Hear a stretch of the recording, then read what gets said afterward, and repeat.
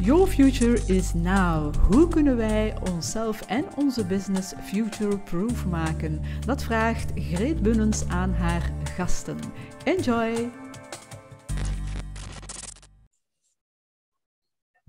Alright, ik heb gehoord dat jij born ready bent. Always. Zelfs te vroeg, dus ik kon ah. zelfs daar al niet wachten. Dus, uh... ah. Welkom alleszins op onze podcast, Your Future is Now. Uh, wij kennen elkaar van Facebook en vooral van de, van, de, van de grappige memes en dergelijke. Ik vind altijd wel de max als jij me van alles doorstuurt. Uh, van uh, grappige mopjes. Humor zal ons redden. Hè? Yes. En dus, uh, dus zo kennen wij elkaar. Ik weet eigenlijk niet hoe dat wij met elkaar in contact zijn gekomen op Facebook, wie dat wij gemeenschappelijk kennen. Maar alleszins, we kunnen... We hadden afgesproken dat we dat niet gingen zeggen. Ah ja, ja, ah, ja, ja oké. Okay. shit, moet ik dat, moet ik dat hier... moet ik dat hier uitknippen. Hè? Uh, maar alleszins, van het een kwam het ander, lieve mensen. En, en dus heb ik ontdekt dat dat behalve een grappige mens, dat het ook wel een intelligente en interessante mens is. En dus we gaan het daarover hebben. Maar eerst gaan we beginnen met onze podcast, zoals altijd, met een... Uh, een, een, uh, een, vraag van de kletspot. Uh, hier heb ik een gast op dingen en uh, ik ga er met mijn vinger over gaan. Gaan we maar stop zeggen en dan gaan we dan gaan we er een kaartje uit. Hier.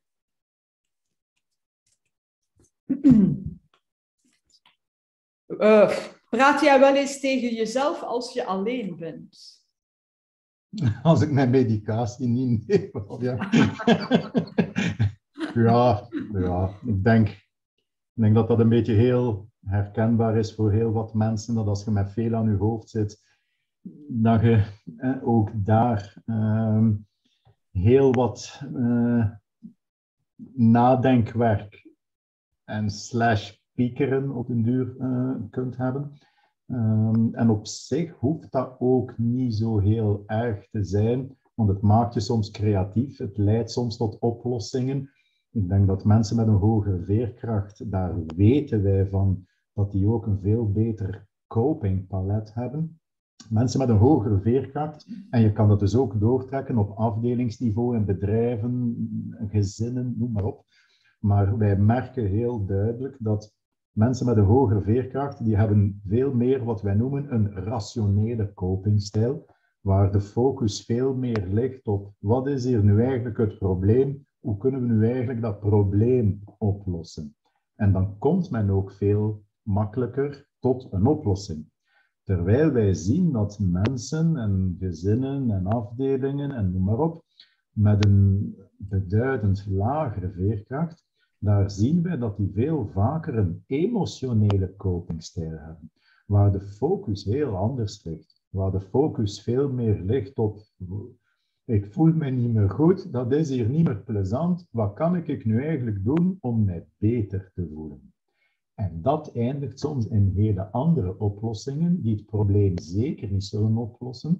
Dat zal vaak ook bijvoorbeeld in absenteïsme eh, op de werkvloer dan eh, resulteren, want het is hier niet meer leuk en ik ga mij laten thuis eh, ziek zetten en dergelijke. Dus piekeren kan een stukje met die coping te maken hebben, dat je eigenlijk ja, tracht een oplossing te vinden voor je problemen. En uiteindelijk, zoals we straks vermoedelijk ook zullen zien, eigenlijk heeft stress evolutionair te maken met bedreiging. En er is niks zo bedreigend voor het bedreigde brein als onvoorspelbaarheid. Dus het piekerende brein, het gestresseerde brein, wil elk mogelijk scenario dat zich zou kunnen voltrekken al overlopen hebben. En inderdaad, als een van die worst case shit scenario's zich dan voordoet, dan lijkt het alsof dat die daar ad rem, baf, een antwoord kunnen eruit flappen. En iedereen heeft iets van, wow, die moest er ook niet achter zoeken. Maar wat men niet inziet, dat is vaak hoeveel energie men al besteed heeft aan het overlopen van al die mogelijke scenario's, hoe uitputtend dat soms kan zijn.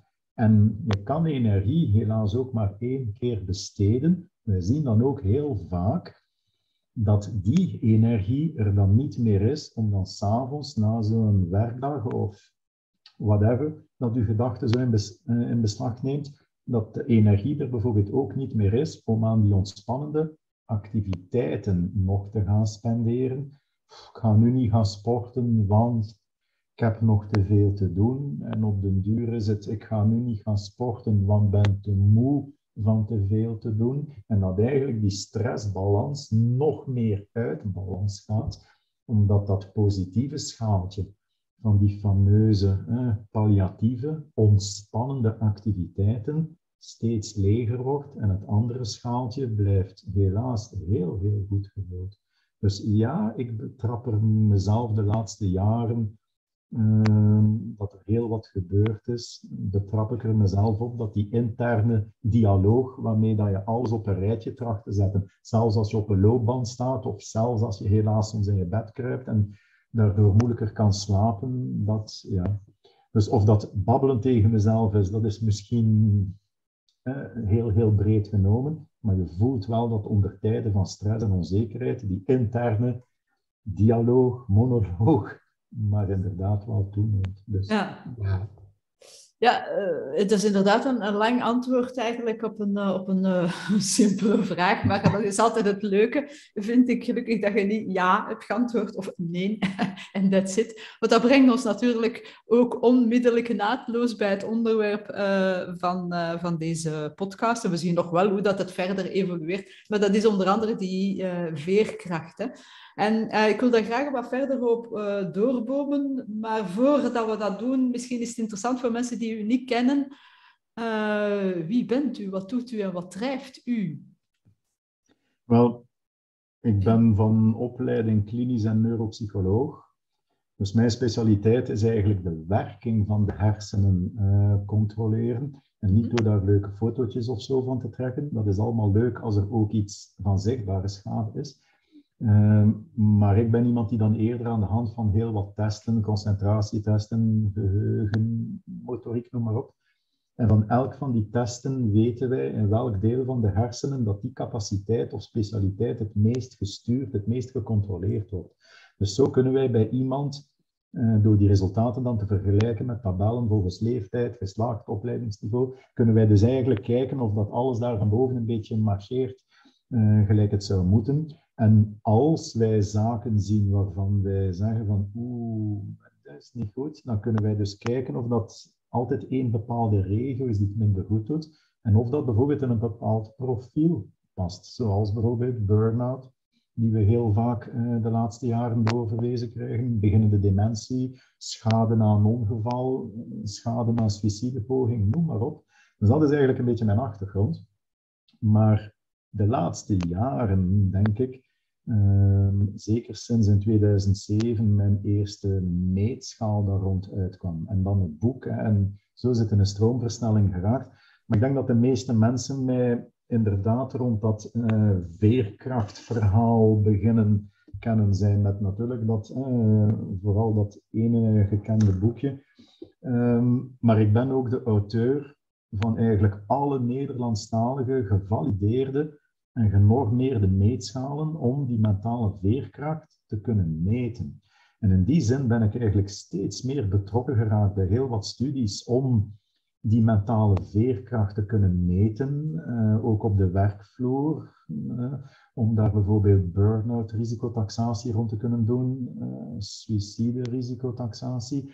En zo is eigenlijk die bekendheid, zeker in Nederland, maar ook hier, eigenlijk fors de lucht ingegaan door dat veerkrachtverhaal. Terwijl ik hier in Vlaanderen ook nog altijd heel wat aanvragen heb om zo lezingen over depressie, het geheugen, het menselijk brein, waar die achtergrond als neuropsycholoog nog veel meer in zit. Maar dat veerkrachtverhaal, ja, dat heeft nu zo'n vlucht genomen. En zeker van zodra men in bedrijven zoiets heeft van, ja, dat stressverhaal, dat is eigenlijk toch wel een ernstig verhaal we zouden daar iets rond willen doen, ook met een meting, ja, dan komt men heel snel natuurlijk uh, toch bij mij terecht. Hè. Mm Want ik denk, allee, sommige mensen uh, weten dat ik een paar jaar geleden zo'n beetje de kat de bel aangebonden heb, wat die uh, die wildgroei van zelfverklaarde burn-out, uh, goeroes en specialisten en coaching en wat dan ook uh, betrof. Dat heeft me niet altijd veel vrienden opgeleverd. Maar goed, um, er zijn heel wat mensen, heel wat eh, BV's en wannabe BV's en dit en dat, die dan vaak met hun eigen eh, verhaal van hun burn-out en dit en dat eh, zeer dure lezingen geven. Maar als men dan nadien daar iets wil rond doen, ja, dan is dat... Ja, ik denk dat dat inderdaad ook het gevaar een beetje is. Uh, en ik kom daar heel veel tegen, want ik, ik, ik, ik omring mij blijkbaar ook wel door heel veel uh, coaches, therapeuten, eh, ook veel andere mensen, maar goed, ook veel coaches en therapeuten. En bij, bij burn-out merk ik vaak dat mensen um, dan het licht hebben gezien, hun geholpen geweest zijn door misschien een specialist ter zaken, mm. en dan zeggen, oh, ik wil dat ook doen maar die dan hun uh, ervarings, uh, die zich als ervaringsdeskundige gaan profileren en die dan zeggen, ja kijk, doordat ik het meegemaakt heb, uh, heb ik recht van spreken, bij wijze van spreken. Ja, terwijl, terwijl dat het natuurlijk niet is. Hè. Het maakt misschien het verhaal wat krachtiger in marketingtermen, wat we voor ons gesprek over mm. hadden, dat als je zelf dingen meemaakt, dan, is het, uh, dan, dan kan je soms echt vanuit uit, uit je eigen gevoel gaan spreken, uit je eigen ervaring gaan spreken. En dat kan het verhaal wat krachtiger maken. Maar goed, het is niet omdat je het meegemaakt hebt dat je daarom de specialist bent. Het is niet omdat je een hersentumor hebt gehad, dat je plotseling een brain surgeon bent. Hè? En, uh, en dat gaat de twee richtingen. Ik zeg ook vaak aan, aan klanten van mij, uh, omdat uh, ik kan helpen bij een, personal brand en wat is hun expertise en hoe kan ik mijn expertise laten zien en, en, en horen en dergelijke. Daar help ik uh, ondernemers bij. En sommigen zijn dan wat bang en die zeggen, ja, maar ja, ben ik wel expert genoeg? Want ja, ik, heb het, ik heb dat ook allemaal niet meegemaakt. Ik zeg, ja, een chance dat, uh, dat, de, dat een brain surgeon dat niet uh, allemaal heeft meegemaakt, of dat een geschiedenisleraar uh, niet elke, elke oorlog heeft meegemaakt. Hè. Mm. Dus het, is, het, gaat ook die twee richtingen uit. Maar inderdaad, veel van die mensen zijn dan zelfverklaarde burn-out specialisten. Mm. en daar denk ik inderdaad dat je wel een punt hebt. En ik kan me inbeelden dat dat niet altijd in goede aarde is gevallen, maar dat dat toch wel een punt is dat je daar moet mee oppassen. Eh, het is niet omdat je het meegemaakt hebt dat je een specialist ter zaken bent om anderen dan daarmee te gaan helpen, laat ik het zo zeggen. Ik heb een, aan de lijve mogen ondervinden, ja, als je daar een stukje het probleem aankaart, dat heel wat mensen zich duidelijk bedreigd voelen in hun verdienmodel. Laten we een kat een kat noemen. Mhm. En dan, uh, ja, dan zie je hele vieze dingen uh, gebeuren. En toen de tijd was, uh, de onderzoeksjournalist van HLN. Eh, en dat is niet van uh, de minste. Ja, dat zijn gasten die de trucken van de voor kennen. Hè. Dus die was toen ook een artikel rond die burn-out coaches bezig. En wat doen die gasten? Die schrijven zich meteen in onder een valse naam op sommige van die burn-out fora. Maar ik kan u verzekeren, wat ik daar via hem te weten gekomen ben, daar word je stil van. Mensen die in je gezicht vriendelijk zijn en als ze je kunnen gebruiken, dan kennen ze, maar achter je rug op zulke gesloten fora, omdat ze denken van, haha, hij zit hier toch niet op, gaan zulke mensen dan gaan oproepen om nu allemaal onder een valse naam een slechte review van je boek op bol.com te gaan schrijven, of bij je YouTube-filmpjes die bij het boek horen een duimpje omlaag te gaan zetten, en twee dagen later gaat je gaan kijken en hebt ervan. Hè. Dan zijn, je kunt je heel, heel moeilijk ja, beschermen tegen zulke digitale online praktijken de dag van vandaag.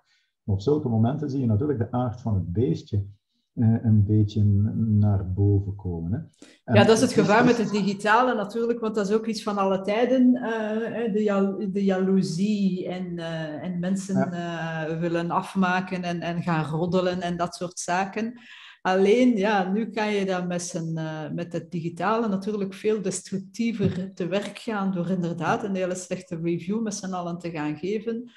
Uh, op een. En ook bij kinderen die heel gevoelig in dat veerkrachtverhaal staan, dat pesten via online en social media. En ik heb al zo vaak de vraag gekregen van, waren kinderen vroeger dan zoveel veerkrachtiger? Ik denk dat niet. Maar Het wordt makkelijker de dag van vandaag om je grens te bereiken.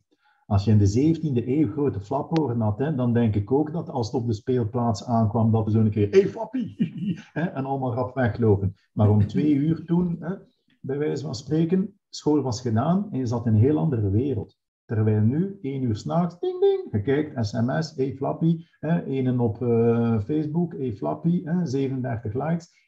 Continu weten ze te vinden. En op die manier zal wie kwetsbaarder in dat verhaal staat en veel sneller die grens kan tegenkomen, hem ook tegenkomen. En mhm.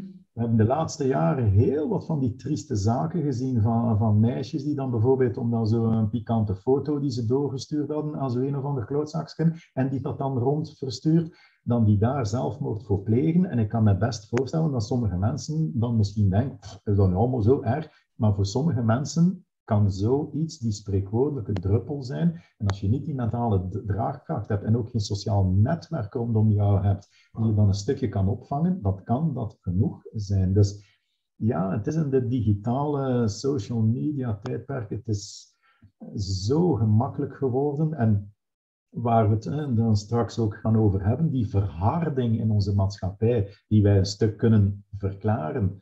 Ehm, ook op dat vlak zie je dat. Hè. Het wordt steeds moeilijker om een genuanceerd debat te houden. Want als je A zegt, is er een die direct roept, nee, het is B. En drie minuten later ben je al een, een anti-aar en ben je een anti-beer en ben je een dit en ben je dat. En het is zo geladen allemaal dat heel wat mensen dan daar zeer door geraakt zijn en daar toch littekens bij oplopen die ze niet zo makkelijk oplopen. Mm en je zeg merkt uh, ja, dat er in die coronatijdperken ook heel wat vriendschappen verloren gegaan zijn. Hè.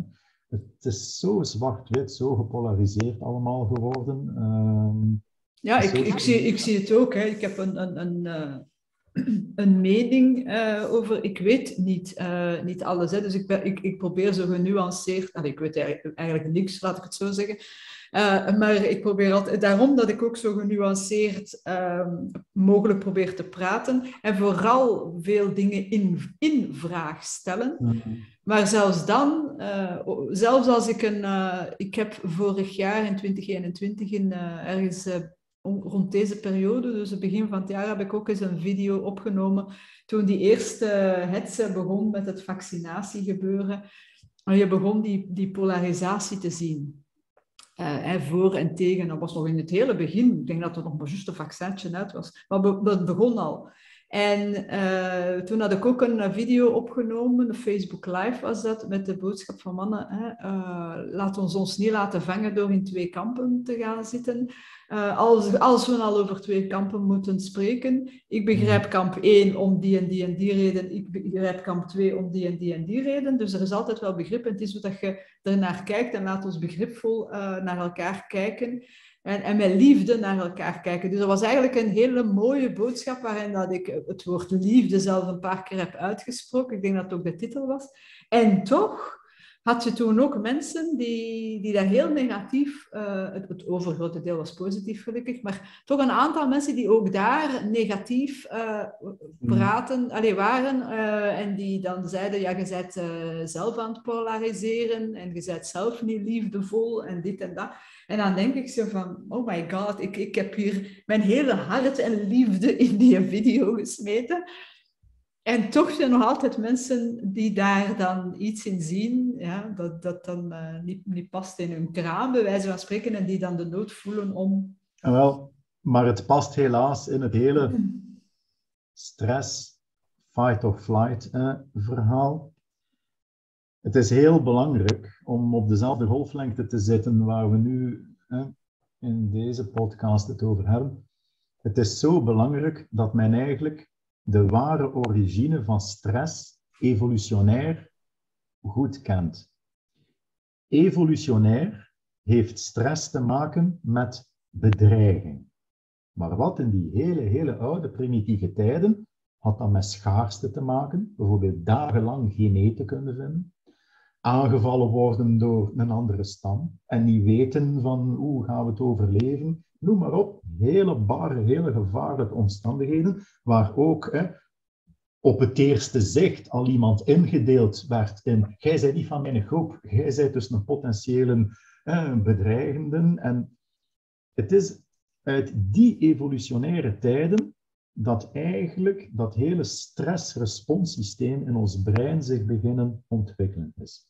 En we hebben dus eigenlijk in het midden van onze kokosnoot daar van binnen, hebben wij dus eigenlijk iets wat wij het stressresponscentrum noemen, dat in dat emotionele deel van dat brein verweven zit, wat dus ook wil zeggen dat dat niet alleen in onze evolutie van soort, maar ook van embryo naar boorling naar volwassenen, wat rond die kernregio's zit, vlak boven dat verlengde ruggenmerg, zo die binnenste stukjes, dat zijn de oudste stukken die er voor ons als soort evolutionair al in zitten. En dat zijn ook de eerste stukken die klaar zijn van als we uit mama gevloekt komen. En daar zit dat emotionele brein. En dat stressresponscentrum, dat is eigenlijk dat paranoïde stuk dat zo continu, zo gelijk een had, zo de boel in de gaten zit houden en eigenlijk continu zo een soort van risicotaxatie aan het maken is van is dat hier veilig of zit ik hier eigenlijk hè, in een situatie dat ik hier alle momenten zou moeten kunnen vluchten of vechten voor mijn leven. En als dat emotionele deel van ons brein, om welke reden dan ook, terecht, onterecht, gebaseerd op eerdere ervaringen, op trauma-ervaringen, op roddels, wat dan ook, maar als dat deel van uw brein opeens de risicotaxatie maakt van wow, crap, dit komt hier niet goed, dan verandert alles. En dan krijgen we een switch tussen dat fameuze sympathische, parasympathische zenuwstelsel en eh, zelfs al zouden nu een paar tinten bleker uitslaan van fuck, wat was dat nu weer? Eigenlijk het enige dat je er voor dit verhaal moet van kennen, is dat het ene dient voor alles wat dan met herstel te maken heeft. Dodo doen, eten, verteren. Maar het andere heeft alles te maken met kunnen vluchten of vechten als het er lijkt om te gaan doen. En van het moment dat dat deel van ons brein de risicotaxatie maakt, crap, dit komt niet goed, krijgen we een switch en alle prioriteiten veranderen. En in fracties van seconden. Dankzij stresshormonen zoals adrenaline, noradrenaline, insuline, tralala, wordt eigenlijk alles wat dat op dat moment niet belangrijk is, zoals bijvoorbeeld verteren, dat is nu geen prioriteit, gans die winkel wordt stilgelegd. Want dat bloed, om dat ingewikkeld maagsysteem te doen werken, dat kunnen we nu veel beter gebruiken in die enorm massieve beenspieren om beter te kunnen vluchten. Dus desnoods, al wat dan niet verteerd is en nog in die maag zit, smijt het er maar uit. Dus je ziet dat in een fractie van een seconde wordt gans dat lichaam optimaal voorbereid om uw overlevingskansen zo goed mogelijk te houden. En op zich is dat een fantastisch systeem. Maar er moet natuurlijk ook een hormoon zijn, een stof, die als het gevaar geweken is, daar van boven de boodschap geeft, uh, jongens, uh, het is weer voorbij, kom maar uit in een heftige state van fight or flight, uh, stop maar met gans dat adrenaline gedoe hier, we kunnen terug op ons plooi, op ons gemak, we kunnen terug naar herstel gaan. En dat sympathiek stofje is cortisol. Een van onze stresshormonen, die dus eigenlijk ons dan terug naar rust moet brengen. Maar, dat is een fantastisch systeem, maar dat nooit de bedoeling had om uren en uren op een dag in trouw te moeten gaan. Dit was een systeem dat bedoeld was om in trouw te gaan als er heel uitzonderlijke, levensbedreigende situaties zich voordoen. Maar als we nu een paar tienduizenden jaren verder spoelen naar onze tijden, dan zien wij dat wij nu soms gestresseerd geraken. Niet zozeer omdat we dagenlang geen eten vinden, of omdat we aangevallen worden door een andere stam, maar omdat we in files zitten, omdat we te veel mails hebben, omdat de financiën niet goed zitten, omdat je, noem maar op, en dat stressemmerken, dat cortisol-emmerken, is aan het vullen. En daar krijgen we een hallucinant vieze rekening gepresenteerd. Mensen die dan een keer in tekeningen willen zien, hè, kan ik verwijzen naar die YouTube-filmpjes uh, die als bijlage bij het boek dienen. Maar lang verhaal kort, wij hebben eigenlijk moeten vaststellen, en er is geen enkele twijfel meer over, je kunt het onder de microscoop zien, als wij te lang aan te hoge dosissen van die cortisol blootgesteld staan, wordt cortisol neurotoxisch. Het begint de hersencel fysiek te beschadigen. En wij zien dus onder de microscoop dan dat al die duizenden en duizenden lange verbindingen die een hersencel met anderen heeft om te kunnen communiceren, dat die zodanig beschadigd worden en atrofiëren, dat eigenlijk van langs nog meer van die verbindingen verloren gaan. En dat wordt nu dus aanzien als de verklaring van de symptomen van de klinische depressie. En verklaart dus ook waarom, omdat dat niet alleen in dat middendeeltje, emotionele deeltje van ons brein uh, gebeurt, dat wij bij de kenmerken, de criteria voor een klinische depressie, dat wij niet alleen zullen zien dat er een stemmingscomponent is, hè, de trieste stemming of de anhedonie, het niet meer kunnen genieten van de dingen, omdat dat daar van boven in uw reward center, uw beloningscentrum, ook al ferm huis aan het houden is, maar dat we zullen zien dat er ook van langs meer somatische klachten, zoals verstoorde slaap en eetlust en seksualiteit en noem maar op komt. Want dat verhaalken gaat ook die regio's beginnen aantasten en ook die functies. Maar wat is nu zo herkenbaar in die laatste twee coronajaren geweest? En de reden waarom heel wat mensen die het voordien eigenlijk nooit echt lastig gehad hebben, dat die plots schokken van oh, maar wat is dat met mij? Ik voel gelijk mijn grens naderen. Wij hebben helaas moeten ontdekken dat hoe vaker dat brein gestresseerd is, hoe moeilijker dat dat brein het krijgt om nog echt naar rust terug te keren. En eigenlijk is de sarcastische grap dat ook dat een cadeautje van de natuur is. Eigenlijk is dat de natuur die zegt, zeg jongen, als je zo vaak moet vluchten voor je leven, maar dan leefde hij toch wel in een zeer gevaarlijke wereld. Hè? Zou het dan voor uw overlevingskansen niet beter zijn dat hij continu een beetje uw doppen openhoudt? Dat je vigilanter wordt. En wat gebeurt er? De gevoeligheid van die cortisolreceptoren, die dus eigenlijk daar van boven het bericht moeten binnenkrijgen. Het gevaar is weg, we kunnen terug op ons plooi komen. De gevoeligheid van die cortisolreceptoren wordt stelselmatig verminderd. Uw brein gaat steeds minder reactie, effect vertonen op dezelfde hoeveelheid van de chemische boodschap. Het gevaar is weg, we kunnen terug op ons plooi komen. En dat verklaart waarom wij steeds meer mensen met dat magische zinnetje tot bij ons zien komen. Meneer, ik kan mij gelijk niet meer ontspannen. En dan weet ik, voilà, zo ver zitten we in dat fight-or-flight verhaal. Die mensen zijn gelijk geblokkeerd geraakt in een soort van pre-fight-or-flight hypervigilantie, dat nu sommigen zo graag hoogsensitiviteit en whatever noemen, maar eigenlijk als je weet hoe dat, dat brein werkt, dan weet je dat het allemaal met dat fight-or-flight verhaal te maken heeft. Dat brein wil geen enkel mogelijk signaal missen van er is toch niet weer iets aan het afkomen. Hè? Dus gans die zintuigelijke prikkelverwerking staat op onder 10%.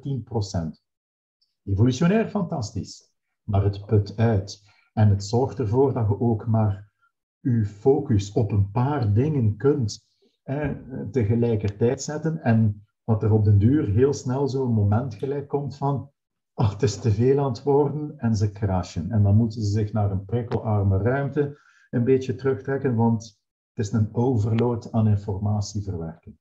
Dat verklaart ook waarom dat ze s'nachts oppervlakkiger beginnen slapen. Want s'nachts wil dat brein, als er een uit de struik springt, ook kunnen gaan lopen. Maar waardoor dat je steeds minder uren diep, diepe recupererende slaap hebt. Waardoor dat, dat lichaam van langs nog meer ook ontstekingen, roofbouw, noem maar op, begint te vertonen. En je houdt niet voor mogelijk wat voor een enorme visieuze cirkel wat dan eigenlijk in gang uh, getrokken wordt. Maar dat verklaart waarom dat van langs nog meer wij in die laatste vreemde jaren een enorme toename zien in intrafamiliaal geweld, verkeersagressie, zwart-wit denken, racisme. Wij zien in één keer weer voetbalhooliganisme, dat leek verdwenen. In één keer is er terug. Noem maar op. Wij zien van langs meer van die verhalen die heel mooi aantonen dat op maatschappelijk niveau, en ik denk voor het eerst op zo'n massale schaal sinds de Tweede Wereldoorlog, denk ik, dat wij zoveel van die breintjes geblokkeerd zien geraken in die hypervigilante free fight or flight modus. En ze hebben twee keer niks nodig om naar full fight or flight te gaan. En op den duur zouden ze elkaar de kop inkopen voor twee stomme rol wc-papier op de parking van een Lidl. En dat heeft niks meer te maken met de evolutionaire schaarste van eten. Maar je ziet hoe dat dan nog altijd in ons geprogrammeerd zit om bij bedreiging en schaarste in ene keer, hup, dat er zoiets in ons opkomt van, het moet hier voor mij zijn en het kan me niet schelen dat jij het niet hebt, maar nu moet ik overleven. En dat zien we in de manier waarop dat politiek nu van langs nog meer bedreven wordt, hoe het zakenleven steeds harder wordt, hoe men inderdaad de ander steeds meer begint te taxeren van zij hij van mijn groep, mag ik mij veilig bij u voelen, of zijde hij van de andere groep? En hoe bedreigder dat, dat brein zich voelt, hoe gevaarlijker dat een anderen meteen wordt. En hoe meer dat dat op het zicht te zien is, als je na die aanslagen, uh, na die aanslagen hier in België, als je met een lange baard rondliep, ja, het was uw beste dag, niet, want je waren al meteen door dat brein, ja, het is ook zo één. En dat is heel snel dat die taxatie gebeurt. En dat kun je soms positief manipuleren. Als ik in de tijd met stagiairs leerde werken op die gesloten afdelingen in de rusthuizen bij zwaar dementeerden, dan zeg ik altijd, gastjes, never underestimate the power of the plastron. Ik ging bij die zwaar dementeerden altijd in kostuum gaan werken. Waarom? Als ik dan op de kamerdeur klopte en er met een domme smile op je want dat brein wilt in een paar seconden die risicotaxatie maken van zijn je bedreigend of niet. Dus als je daar met een vies gezicht daar binnenkomt zonder kloppen, recht naar die dementerende toe van we gaan hier een keer bloeddruk meten of wat dan ook, dan moet je niet verschieten dat jij een tas koffie naar u krijgt. Want die weet eigenlijk niet wat er aan het gebeuren is. Die voelt zich bedreigd en zal fight or flight een reactie zijn. En dat is ook de reden waarom de thermos koffie in het rusthuis voor de gesloten afdeling kouder is van temperatuur dan de andere afdelingen. Dat je niet verbrand kunt raken. Maar je moet dus niet verschieten dat dat bedreigde brein, dat die een puzzel in die fractie van een seconde niet kan samen krijgen van wat gebeurt er, dat je een verdedigings- en overlevingsreactie krijgt. Terwijl als je daar op die deur klopt hè, en er met een smaak op je domsmoel staat en trager beweegt hè, en dat je hè, zegt van hè, Marie, heb je vijf minuten en je gaat er naartoe. En het is in het kostuumke, ze weet bij God niet meer wie dat ben, maar het is een plastroontje, zal meneer dokter zijn. En het plots een goede medewerking. Moest ik daar in mijn training toestuiken, ik ben nog altijd dezelfde, ik ben even groot of imposant of wat dan ook van lichaam, het plaatje klopt niet meer. Dus je ziet zelfs bij die zwaar dementeerde breinen, hoe diep dat, dat in ons ingeworteld zit, om in een fractie van een seconde die risicotaxatie te maken van zijn jij veilig of niet. En ook een kind dat bijvoorbeeld opgegroeid is in heel bedreigende omstandigheden, heel destructieve omstandigheden, je ziet dat brein is getraind. Dat brein hoort op de duur aan de manier dat de voordeur dicht gaat van ja, het is weer verkeerd, weg, weg, of ik heb er weer van. Maar dat zal voor de rest van het leven zijn dat dat erin zit dat zal veel sneller hè, de boel in de gaten zitten houden. Dat zal veel sneller de ander zitten lezen van oeh, oeh, die ziet er vies uit. Oeh, wat moet ik doen om bestraffing te vermijden, om, om verlating te vermijden? En hopla, de zaadjes van uw perfectionisme zijn bijvoorbeeld alweer gezaaid, die ze voor de rest van het leven niet meer kwijtraken. Dus het is begrijpelijk hoe in onze maatschappij wij heel veel dingen zien veranderen hebben, die je eigenlijk, als je het goed bekijkt, puur fight or flight eh, gedrag zijn. Maar dat zijn natuurlijk ook soms heel gunstige tijden voor wie daar een beetje misbruik wil van maken. Want als je daar natuurlijk inzicht in hebt en je weet hoe dat je een groep moet bespelen, is het ook heel makkelijk om je discours daar een stukje aan aan te passen. Maar het is zo herkenbaar, het wordt zo moeilijk om nog een genuanceerd debat social media te kunnen hebben. Daar komt natuurlijk ook nog een keer bij dat men, als ze anoniem aan een schermpje zitten, zijn ze natuurlijk allemaal de grote held. Als je ze voor u in uw gezicht hebt, dan, uh, dan komt er al veel minder muziek uit. Ehm, maar veel van die zaken zijn een stukje te verklaren, maar gaan nog jaren, jaren, denk ik, ons eigenlijk nog volgen. Er zijn veranderingen in onze breintjes gebeurd die we niet zomaar weer gaan loslaten. Dus en denk je dat die veranderingen dan vooral de laatste twee jaar of, uh, versterkt zijn of, of, ontstaan zijn? Of is het al, al, al langer? Ontstaan, ontstaan zeker niet. Hè? Als je bijvoorbeeld het wantrouwen naar uh, politiek en dergelijke ziet, ja, dat is iets dat al jaren, decennia bezig uh, is.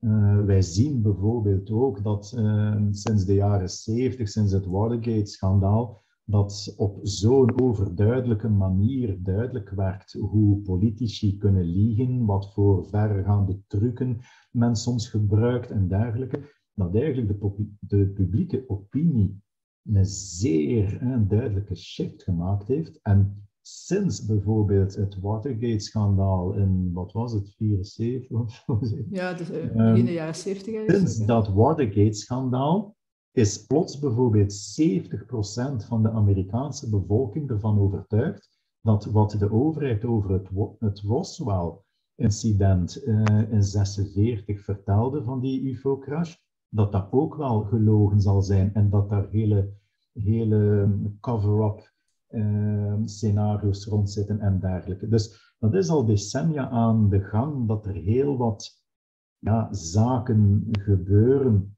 waardoor mensen zeggen van, ja maar oh, allez, wat zij er hier ons voor blazen aan het wijsmaken. En ja, als daar dan continu, continu zo dergelijke voorbeelden van uitkomen van politici die bepaalde regels opleggen, maar er zelf duidelijk zich niet aan houden of er niet de gevolgen van moeten dragen, dan zie je dat die kwaadheid, die al bij die hypergestreste breintjes nog zoveel sneller naar emotionele acting-out situaties kan leiden, ja, ze hebben heel weinig nodig om dan te zeggen, zie het wel, het is weer van dat. En op den duur begint er wel een beetje een soort van confirmation bias te komen, dat je enkel nog ziet wat dat past in je kraam en mhm. niet meer ziet wat dat ja, tegen uw visie lijkt in te gaan. En omdat je bedreigd voelt, gaat je je dan natuurlijk ook beter voelen en veiliger in het gezelschap van gelijkdenkenden. Want wij begrijpen elkaar. Hè? Wij gaan elkaar toch helpen. Hè? Als het verkeerd gaat, die anderen, dat zijn klootzakken. Hè? Maar wij gaan elkaar toch helpen. Hè? En evolutionair kun je dat weer plaatsen. Evolutionair kun perfect begrijpen wat het overlevingsmechanisme achter roddelen was. Als je niet het alfamannetje was die zich weinig zorgen moest maken, want ik ben hier toch de sterkste en ik bepaal hier toch wat er gebeurt, die lag er niet wakker van. Maar als je bij de zwakkere behoorde, of tot het zwakkere geslacht, als we het dan nog een keer in pre-woke termen uitdrukken, maar dan moest je het van andere methodes hebben om je weg op die ladder een beetje te kunnen opklimmen. En als je dan natuurlijk het liefst nageslacht had bij de meest succesvolle, omdat dat natuurlijk ook de overlevingskans van uw nakomelingen vergroten, dan moest je het soms op een andere manier aan boord leggen. En dan moest je soms wel een keer uh, gebruik maken van andere uh, voordelen die de natuur u meegegeven had. En dan ging je van roddelen gebruik maken om een paar concurrenten uit de weg te gaan duwen evolutionair kunt je zoveel van die zaken gaan begrijpen. Wat niet hetzelfde is als goed praten, maar je kunt het wel begrijpen. Hoe dan mensen die zich bedreigd voelen en hun overlevingskans willen maximaliseren, waarom dat die dan zulke tools, trucken gaan hanteren om hun eigen succeskans en zelfs overlevingskans een stuk te kunnen vergroten. Want iedereen voelde aan, als die ooit prijs is en we worden aangevallen, of er is schaarste en er is niet genoeg eten, als ik hier de minst populaire van de hoop ben, maar ik ben de eerste die er weer aan is. Mhm. En dan beginnen veel dingen beter te begrijpen. En ik zei het, het is niet hetzelfde van goed praten, maar... En ik denk, allee, ook zonder daar uh, een of andere conspiracy-theorie of weet ik niet wat. Ik denk dat iedereen ook wel aanvoelt dat de politiek zich de laatste jaren al meerdere keren ferm in de voet geschoten heeft qua geloofwaardigheid, door met verklaringen af te komen waar dat iedereen zo van wist van, oh please, denkt u nu echt dat we zo dom zijn, dat dit echt met het milieu te maken heeft, of dat dit echt met verkeersveiligheid te maken heeft. Het is hier gewoon jing jing, eh, weer de putten eh, in uw eigen uh, budget trachten te vullen. En dan breekt er iets qua geloofwaardigheid. Want als je iemand een paar keer betrapt hebt op liegen, dan is die niet meer betrouwbaar. Die is mhm. niet meer voorspelbaar die wordt een bedreiging. En dan heeft die vaak ook afgedaan. En, allez, stom voorbeeld. Zoveel jaren geleden, de viaduct op de E17 hier in Gentbrugge. Dat wegdek wordt heraangelegd door weer zo'n prutser van uh, een aannemer die waarschijnlijk via de juiste vriendjes hè, dat contract binnengesleept, had. Resultaat, wegdek, een ramp. Dikke overhangsribbels van het ene stuk naar het andere. Iedereen die daarover reed, doenk, doenk, doenk. Een lawaai voor zot. Onder die viaduct woont er daar zo een of andere oude rijke pruim, die nogal veel goede connecties had met de toenmalige PVV, hè, liberalen van toen, waar toen een bepaald minister ook minister van Verkeer was. We zullen zijn naam maar niet noemen, aangezien zijn uh, zoon nu eerste minister is. Maar die had vrij goede connecties. En die gaat daar dus er beklag gaan doen, dat is te veel lawaai. Die snelheid moet naar beneden. Dus plots in één keer, een stuk autosnelweg, rechte baan, moet iedereen van 120 naar 90. Omdat zij hoopten dat dat minder geluidsoverlast ging bezorgen hielp voor geen meter. Maar goed, plots zaten we daar nu met 90 per uur. Daar heeft men dan, omdat iedereen daar natuurlijk schoon doorreed, want gevoeld op dat stuk rechte weg geen enkele aanleiding om van 120 nu naar 90 toe te gaan. Dus iedereen, la la la, daar vrolijk doorrijden. Plots wordt dat een proeftraject. Maar we weten al die proeftrajecten hoe definitief dat die in 99,9% van de gevallen zijn, wordt dat een proefproject voor trajectcontrole. 700.000 euro, hè? een enorm bedrag, maar op een paar maanden tijd was het al terugbetaald via de boetes. En plots, ah, ze iets heel interessants ontdekt. Wat is het resultaat? Dat wij nu overal, maar overal, van die trajectcontroles rond onze oren geslegen kregen, op stukken rechte baan, waar dat iedereen van aanvoelt. What the fuck, wat heeft dit hier nu met veiligheid te maken? Zeker s'nachts als je daar een weentje rijdt, maar kassa kassa. Maar ondertussen wordt natuurlijk wel iedere keer verteld, het is voor verkeersveiligheid. Terwijl als je naar de statistieken gaat gaan kijken, hoeveel ongevallen zijn er op dat stuk baan ooit voordien gebeurd, dat dat eigenlijk te verwaarlozen was. En dan komen ze achteraf met statistieken af van kijk een keer, sinds we daar flitspalen gezet hebben, of sinds, sinds we daar trajectcontrole gedaan hebben, zijn er veel minder ongevallen gebeurd. Maar wat ze dan heel handig over zwijgen, is dat ze dan een periode eruit pikken dat we plots twee winters gehad hebben, zonder sneeuw, zonder ijzel. En dat er natuurlijk ook veel minder accidenten waren. En de jaren die daar niet bij passen, laten ze er schoon van tussen.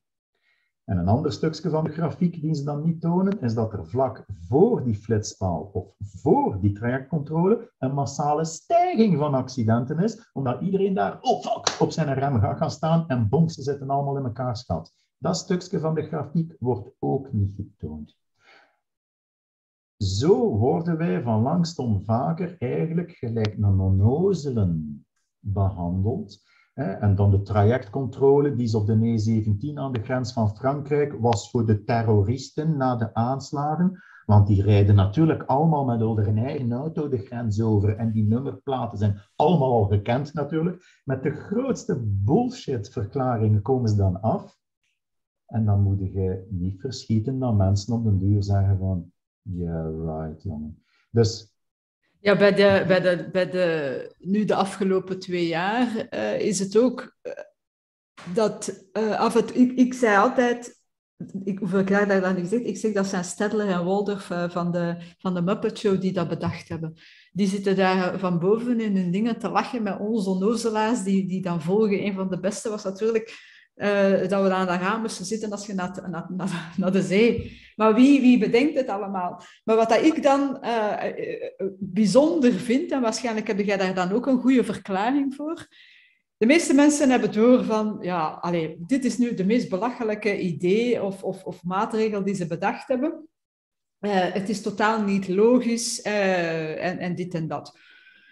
Maar goed, of dat het nu logisch is of niet logisch is, je hebt dan nog altijd veel brave burgers, de meeste die dan toch nog maar meegaan in de maatregel, want ja, ze kunnen niet anders of ze gaan een voeten krijgen of het wordt dan dan choose your battles, whatever. Maar je hebt ook die mensen die dan niet inzien dat de logica totaal uh, zoek is, dat, uh, dat er van alles niet klopt. Uh, en dan moet je nog niet in complotten gaan, uh, gaan geloven, zoals inderdaad in Roswell, uh, waren daar nu marsmannetjes of niet, of andere mannetjes.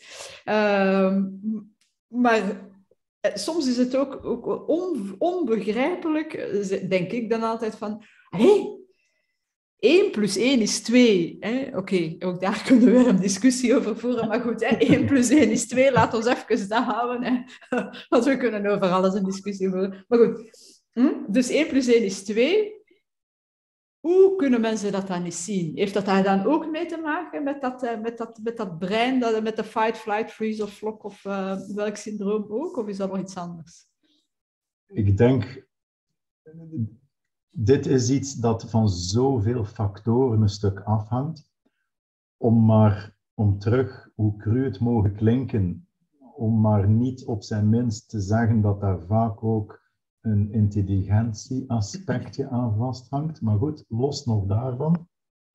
Ik denk als je maatschappelijke fenomenen echt wil begrijpen, dan kom je er niet alleen met psychologie en met breinkunde, wat veel kan uh, doen begrijpen of in een bepaalde context hebben, maar dan moet je zelfs uw geschiedenis kennen. Dan moet je zelfs uw religieuze geschiedenis uh, kennen om al die stukken van de puzzel te doen passen. Mm wij zijn een maatschappij die nog altijd enorm de sporen draagt van een zeer katholieke opvoeding, denkwijze. En er zijn weinig religies die zo betuttelend zijn van gij zult niet dit en gij zult niet dat, als de katholieken. En dat zit nog altijd in ons DNA, soms letterlijk en figuurlijk, maar wij, zelfs al zijn heel weinig mensen niet meer religieus, en denken die en geloven die en, leven die zeker niet meer volgens de regels van God en tralala, toch voelen ze zich nog altijd beschaamd als ze bijvoorbeeld, ik zeg maar wat, een masturbatiefantasie over de buurvrouw gehad hebben of wat dan ook. Dat zit nog altijd gelijk in ons van, dat mag niet en jij zult niet dit en jij zult niet dat. En wij zijn wat dat betreft nog altijd een volk die heel, heel snel zich een beetje de les laat stellen. Wij zijn ook een volk dat uitzonderlijk vaak door andere mogendheden en buurlanden gewoon onder de voet gelopen is. En, dan was het een paar uh, decennia naar de Spanjaarden luisteren, en dan een keer naar de Fransen en dan een keer naar de Duitsers en weet ik niet wat. En wij zijn wat dat betreft een volk dat nogal heel snel zich neerlegt bij de situatie. Ja, aan de toog van de café, uh, allemaal grote muil, maar als er hem op neerkomt, zijn wij heel passief-agressief. Terwijl dat zo die meer heet geblakerde, uh, kijk naar die Zuid-Fransen, van als daar er iets, uh, iets niet aanstaat, Hans Plant ligt plat met de camions en de tracteurs en dit en dat. Wij zijn wat dat betreft een heel subassertief uh, volk dat hoogstens een keer eh, passief-agressief zijn goesting doet. Maar dat verklaart ook waarom dat wij Belgen bijvoorbeeld de wereldkampioenen zijn in zich geen zak aantrekken van verkeersregels, uh, belastingsontduiking, wat dan ook. Want iedereen in de psychoanalyse weet, van het moment dat je een verbod installeert, installeert je ook een genot om de regel een keer te overtreden. Dus als je in een hele, hele strenge school bijvoorbeeld uh, opgevoed wordt, een stuk, dan is dat al zo plezant om een keer een briefje te kunnen doorgeven aan elkaar. Dat installeert ook een zeker genot. Dus als wij met onze auto 160 rijden op een autostrade, dan hebben we zoiets van, zie mij een keer, fuck you allemaal. Terwijl als je tegen een Duitser zegt, ik heb vandaag 160 gereden, dan zit hij naar u te kijken, ja, en was. Hè, ik doe dat alle dagen en ik heb er gisteren 260 gereden. Voor hem is daar niks meer plezant aan, want het mag toch. Dus zelfs die stukken van de puzzel, om het hele plaatje te kunnen begrijpen, moeten daar soms eigenlijk een stukje. En dat is leuk, vind ik, dat zal dan de aard van het beestje zijn. Maar als diagnosticus is dat altijd leuk om de stukken van de puzzel te doen passen, om te observeren en te kijken van, als wij bijvoorbeeld een keer een rit gaan doen door Nederland, hè, en wij zien daar zo al die hele kleine huisjes, zonder gordijnen, zonder rolluiken, waar dat jij door dat huis kijkt. Voor ons is dat raar. Maar zij hebben eerder een achtergrond van die Lutheranen, van die Calvinisten, van die protestanten, waar het veel meer was van, hela, hij toch niks weg te steken, hè? waarom hij gordijnen dicht? En, dus bij hen is dat zo de gewoonte van iedereen kan daar maar binnenkijken en de helft van uw hè, privéleven wordt daar letterlijk op straat getaleerd. Wij zijn zo niet. Wij zijn veel meer degene die in de kerk heel braaf daar de schijnheiligheid gingen gaan uithangen en dan achter gesloten deurtjes uh, het anders doen. En zelfs in die coronatijden was dat heel leuk, heel leuk, was dat eigenlijk frappant om te zien wat voor gevolg dat dat nog altijd had.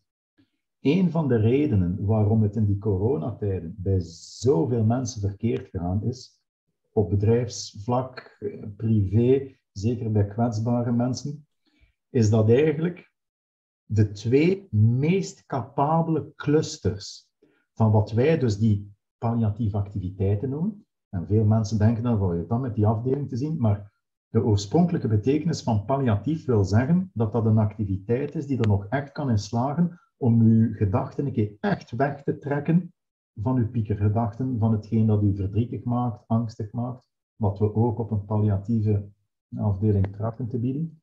Maar het gaat veel ruimer.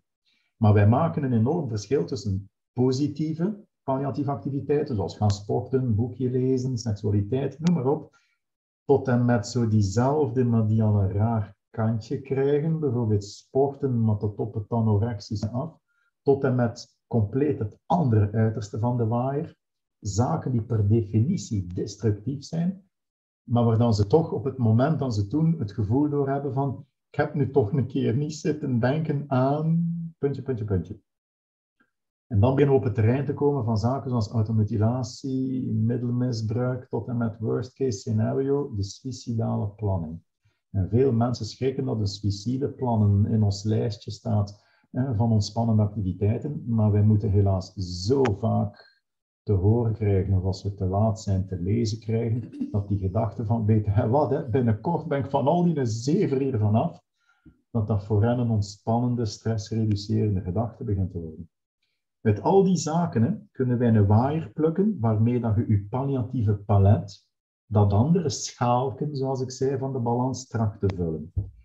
En daar is het in die twee jaar nog een keer zo verkeerd gegaan de twee meest capabele clusters, die die piekergedachten nog het langst en het best kunnen onderdrukken als het al prijs is en je begint dan betand te lopen, zijn de sociale en de actieve.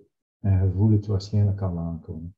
Wat is in die rare lockdown-tijden, wat waren de twee clusters van activiteiten waar we van de ene dag op de andere bijna moesten decimeren? Juist die. Dus als mensen zich toch een keer trachten te ontspannen in die rare tijden, waren ze al bijna gedwongen om te gaan grabbelen in het tonneken van de solitaire en de passieve activiteiten.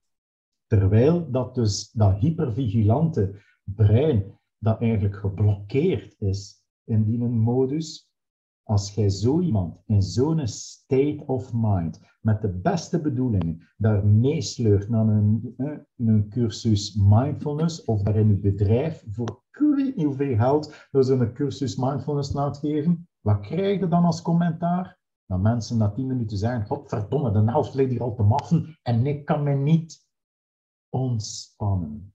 En wat gaan zij daaraan hebben? Niks. Want op een duur lezen, godverdomme, en daar hebben ze wel geld voor. Hè? En voor al dat werk ligt er op mijn bureau en nu zit ik hier mijn tijd te En eigenlijk komt het een boemerang in uw gezicht terug, mhm. gedacht van iets goed aan te bieden, maar eigenlijk zeiden ze op dat moment zelfs nog meer aan het confronteren met hoe moeilijk dat het wordt om die focus te kunnen verleggen en de scheldend water op dat moment. Op zulke momenten gaan wij veel meer duwen naar die sociale en die actieve activiteiten. En vooral actief in de zin van coördinatie. Als je ze dan een uur Zumba voor beginners, of gevechtsport, of karting, of kleiduifschieten, of wat dan ook aanbiedt, maar als ze met coördinatie bezig zijn, dan gaan we misschien eindelijk, na een half uur, ze nog een keer over zeggen, ah, ik heb nu een keer een half uur niet gedacht aan, puntje, puntje, puntje. En dat is wat dan veel mensen in die rare tijden kwijtgeraakt zijn.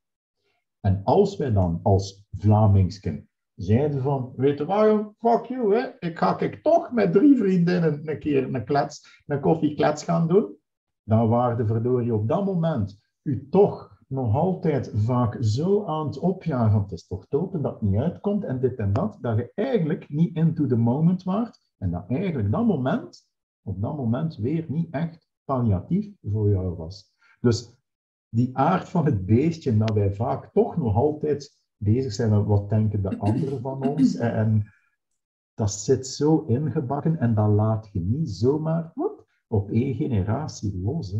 Mhm. Herkenbaar? Ja, ja het, is, het is inderdaad een boeiende materie uiteindelijk. En als je in, als je kijkt hoe dat het in de laatste twee jaar uh, eraan toegegaan is, hè, uh, we gaan nog uh, van, de goede, van het goede geloof uit dat het niet bewust is, maar ze hebben eigenlijk bijna alles gedaan om het verkeerd te doen. Hè. Lockdowns, horeca, mensen mochten, mochten inderdaad niet gaan sporten. als ik in Frankrijk was, maar ja, ik, ik ben zo'n typische ongehoorzame burger die je daar beschrijft. Die, uh, dus ik ging wel naar Frankrijk. Hè. Oei, oei, als ik dat nu zeg in mijn dingen, in mijn podcast. Maar goed, daar mocht je maar één kilometer rondom je huis gaan wandelen. Uiteraard gingen we ook dat niet doen. En gingen we wel gaan wandelen, omdat je in de natuur bent, met je honden gaan wandelen. Goed sporten, uh, frisse lucht inademen. Uh, ik hoop dat dat frisse lucht is. Dus ja, voor mij was, was die afweging heel rap gemaakt. Of ik ga in in een streek gaan wandelen met de, met, de, met, de, mensen die ik graag zie en met mijn honden die ik uh, graag zie. In de natuur, in het zonneke, weet ik veel wat, tegen de regels in. Of ik ga mij houden aan, die, uh, aan de regeltjes uh, om maar geen boete te krijgen. Ja, dat, dat was voor mij een no-brainer. Maar inderdaad, ik kan mij wel inbeelden dat heel veel mensen, dat dat voor heel veel mensen niet zomaar een no-brainer is. En dat die inderdaad wel gaan zeggen, ja, maar ik ga toch niet naar Frankrijk gaan. Of als ze daar toevallig zeiden, ik ga toch maar in die ene kilometer rondom het huis blijven. Hè? Ik denk dat we zeker in deze tijden, in deze vreemde tijden, hebben wij nog een keer zo mooi bewijs gezien wat angst met iemand kan doen. En zelfs op maatschappelijk uh, niveau kan doen. Hè. Mhm. Wij zijn een breintje dat evolutionair nog altijd getraind is om op bedreiging gepast te reageren. Hè. Of het zou wel een keer uw laatste dag kunnen uh, zijn. Angst is een fenomenaal overrompelend uh, gevoel, een overrompelende emotie. Mhm. En waar helaas dat brein heel snel met fight or flight reacties zal op uh, reageren. En dat is pijnlijk duidelijk geworden de laatste twee jaar in onze maatschappij, uh, tot wat voor excessen dat op den duur kan, uh, kan leiden. Hè. En, ja, en het is echt een trauma. Uh, want ene voor sommigen wel. Hebben, het is daarom dat ik lees ja? dat we dat niet snel gaan Wat dan nu gebeurt is de laatste jaren, dan gaan we niet zomaar rap weer. En wie denkt van, oh, als we, ik zeg maar wat, binnen een, als we tegen de zomer hè, in code groen of whatever zitten, Bestaat zelfs dan niet. is het weer gedaan. Nee, dat, dat gaat niet zomaar gedaan zijn. Er zijn heel kwetsbare mensen, heel kwetsbare jongeren, die zo littekens opgelopen hebben. Soms letterlijk, hè, meestal figuurlijk, maar dat draagt je mee. En het is niet dat ik een doemdenker ben, maar er is een zekere realiteit waar je wetenschappelijk niet zomaar kunt aan ontsnappen. Dat hele veerkrachtverhaal, daar zit zowel een nature-nurture component in, daar zit zowel een genetisch kantje in dat verhaal, als natuurlijk een opvoedkundige, een, een, een, ja, de wereld waarin dat je opgroeit. Maar wij hebben bijvoorbeeld ontdekt nu dat als wij een dier een proef, een, een, een angstreflex aanleren tegenover een bepaalde stimulus, dat tot 17 generaties nadien die angstreflex via het DNA kan doorgegeven worden aan het nageslacht. En again, evolutionair, fantastisch. Het is alsof dat de natuur zegt, jongetje, als dat zo gevaarlijk is voor u, misschien hè, zul je nageslacht dat ook beter weten. Dat is beter voor u als soort. Dus als wij bijvoorbeeld de Holocaust-overlevenden zien, die op dat moment van die heftige ervaring nog geen kinderen had, en hij krijgt nadien kinderen, dan zullen de breintjes van die kinderen anders reageren, heftiger reageren op stress, op bedreiging. Terwijl had hij die kinderen al op het moment van die ervaring, dan is dat weer een heel ander verhaal. Dus ik durf helaas beweren dat wij, wat wij de laatste twee, drie jaar, want we zijn er nog niet, wat wij op die drie jaar meemaken en wat, wat dat voor sommige mensen betekend heeft qua stress, qua angsten, dat gaat zelfs intergenerationeel zelfs een stuk kunnen meegedragen worden. En dat is niet fatalistisch, niet pessimistisch zijn, dit is gewoon een bezorgd realisme als je de wetenschappelijke studies bekijkt en als je weet wat de genetische invloed in dat hele stress- en veerkrachtverhaal heeft. Want we hebben het misschien nog niet zo duidelijk gezegd in ons uh, betoog nu, maar die veerkrachtscore die men dan op die meetschaal van mij behaalt, eigenlijk kan je dat vertalen als hoe snel dat dat brein in die fight-or-flight respons zal schieten. Hoe lager die veerkracht, hoe rapper dat brein zich bedreigd gaat voelen. Bij die hele laagscores is zelfs al het anticiperen op wat zou kunnen verkeerd gaan al genoeg om in de paniek uh, te schieten. En evolutionair fantastisch, maar de rekening wordt cash betaald. Je gaat veel rapper in die cortisolcascade komen, je gaat veel rapper die dendrietbeschadiging hebben en daardoor word je dus kwetsbaarder om in dat burn-out en nog veel erger in dat klinisch depressief verhaal te komen. Mm -hmm. En again, voor veel mensen, als ze die tekeningen in die YouTube-filmpjes dan eens zien, hoe die beschadigde dendrieten eruit zien, dan beginnen heel wat stukken heel pijnlijk eh, te passen. En gelukkig is dat geen definitieve schade. Je kunt nieuwe dendrieten doen groeien tot het letterlijk einde uh, van, van je leven, maar dan moet je natuurlijk wel de juiste dingen doen en de juiste dingen weten. Um, en daarom dat ik mij zo kwaad kan maken als ik, um, in die lockdown-tijden sommige experten, uh, als ik die zo van die bullshit hoorde vertellen van wil je de beste manier om door de lockdown te geraken, hè, maakt u binge-watch een lijstje van Netflix op en begint eraan, dat je dan zoiets hebt van seriously, kan jij nu echt Wie heeft dat gezegd? Ja, uh, Allee, ja, een, een zeer goede uh, vriendin uh, van ons, een VUB-prof, waar dat iedereen al een bras mee gehad heeft en waar we ook van weten via welke connecties dat ze expert is. Maar als je zo bullshit hoort vertellen, dan hebben ze iets van, meen je dat nu? Maar ja, als je dan weet dat haar eigen bedrijf van die mindfulness cursussen en dergelijke aanbiedt, dan weten we wel waar het verdienmodel weer um, achter zit. Hè. Terwijl ja. je zoiets hebt van, dit is niet oké. Okay. Je weet, of je zou het moeten weten, dat in deze tijden van die passieve zaken gedoemd zijn te mislukken, maar het is gewoon kassa kassa. Mhm. Als we eens even kijken naar de veerkracht en die meetschaal, kunnen dat in twee woorden uitleggen hoe dat je dat weet, of is dat een te ingewikkeld gegeven? Wel, uiteindelijk, stel nu, als men op de werkvloer vraagt van, ja, het is hier verkeerd aan het gaan, of we krijgen signalen, we zouden zo een burn-out risicotaxatie willen doen, dan gaan wij ehm, in wat wij de beperkte um, screening noemen, gaan wij eigenlijk met vier meetschalen aan de slag. Die veerkrachtschaal, die uiteraard kijkt hoe hoog dat je op die veerkracht gaat. Die palliatieve paletschaal, om een keer te kijken van wat heb jij de laatste maand nog allemaal aan die ontspannende activiteiten uh, gedaan. En het zal u weinig verwonderen, gezien wat we al gezegd hebben, dat we steeds meer in studies zien dat zeker bij hoogopgeleiden, die vaker al iets hoger scoren in veerkracht, want anders waren ze niet tot dat diploma gekomen. Als ik bij hoogopgeleiden die veerkrachtschaal moet gaan afnemen, dat is vrij zelden dat ik daar nog echt laagscorers zie. Hoe hoger dat je opleidingsniveau gaat, hoe minder kans dat die veerkrachtschaal het meest gaat bepalen wie het meest at risk is om het eerst in een burn-out te schieten als het op de werkvloer moeilijk begint te gaan. Maar als je dan een keer vraagt, wat heb je de laatste maand nog aan ontspannende activiteiten gedaan? daar vind je een stuk van de puzzel die bepaalt waarom het krak geworden is of dreigt krak te worden.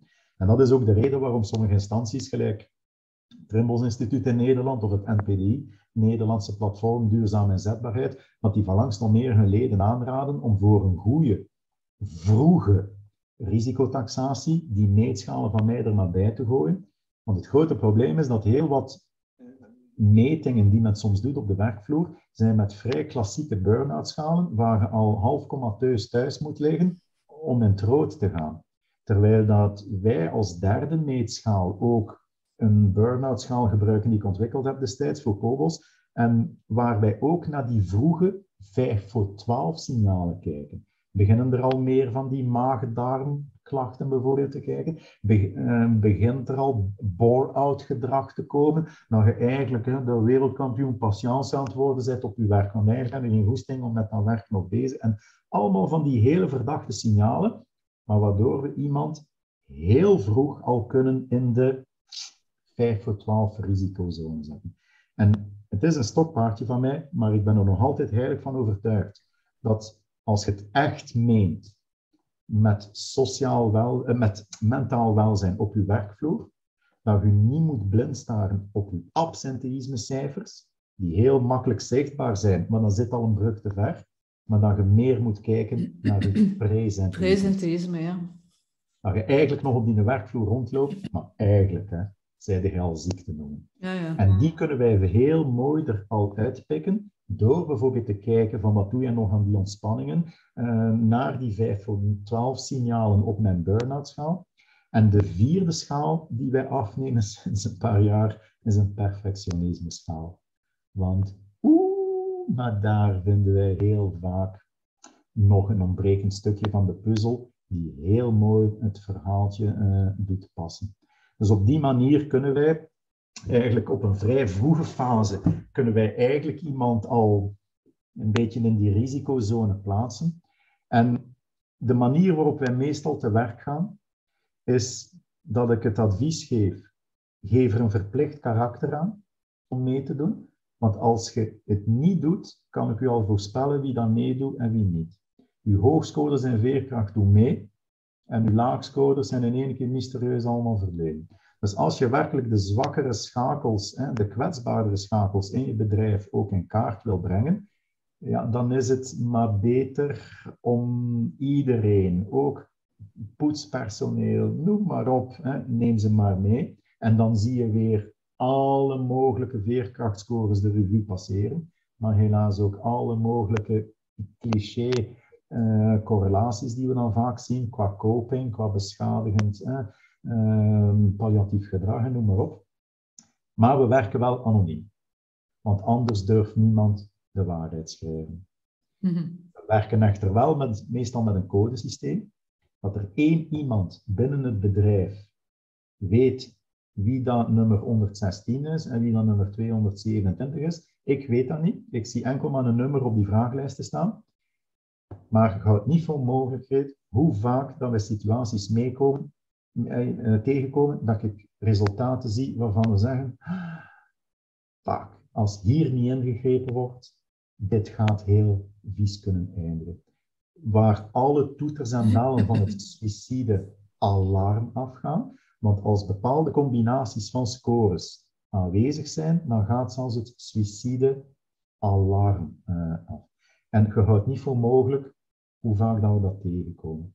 En stel u voor dat we dan onmogelijk kunnen te weten komen wie dat is. Mhm. Dus ik heb als bedrijven mij vragen om zo'n risicotaxatie te komen doen, hebben wij altijd eerst het wat-als gesprek, dat wij heel duidelijk bespreken van wat gaat er gebeuren en wie neemt wat op als we daar hele zorgwekkende dingen zien. Gaat dat intern opgevolgd worden? Is dat extern? Moet ik daar een stuk nog een faciliterende rol? Maar dat we heel duidelijk afspreken, als er hier weer van die hele schijnende dingen naar boven komen, wat wordt daarmee gedaan? En dat we niet terug meemaken dat er niks mee gedaan wordt. Mhm. En allee, om u maar een keer te illustreren, hè, toen een paar jaar geleden, toen ik eh, met de mensen van het kabinet welzijn van Van Deurzen, toen nog een zeer betrokken man was op dat vlak, ehm, als ik de eerste gesprekken had met hen om dus die fameuze Fit in je hoofd website voor hen te maken, waar dus die, die veerkrachtschaal en die palliatieve paletschaal van mij gebruikt hebben. Mhm. Ik heb hen toen het voorstel gedaan van zouden we daar geen suicide alarm insteken?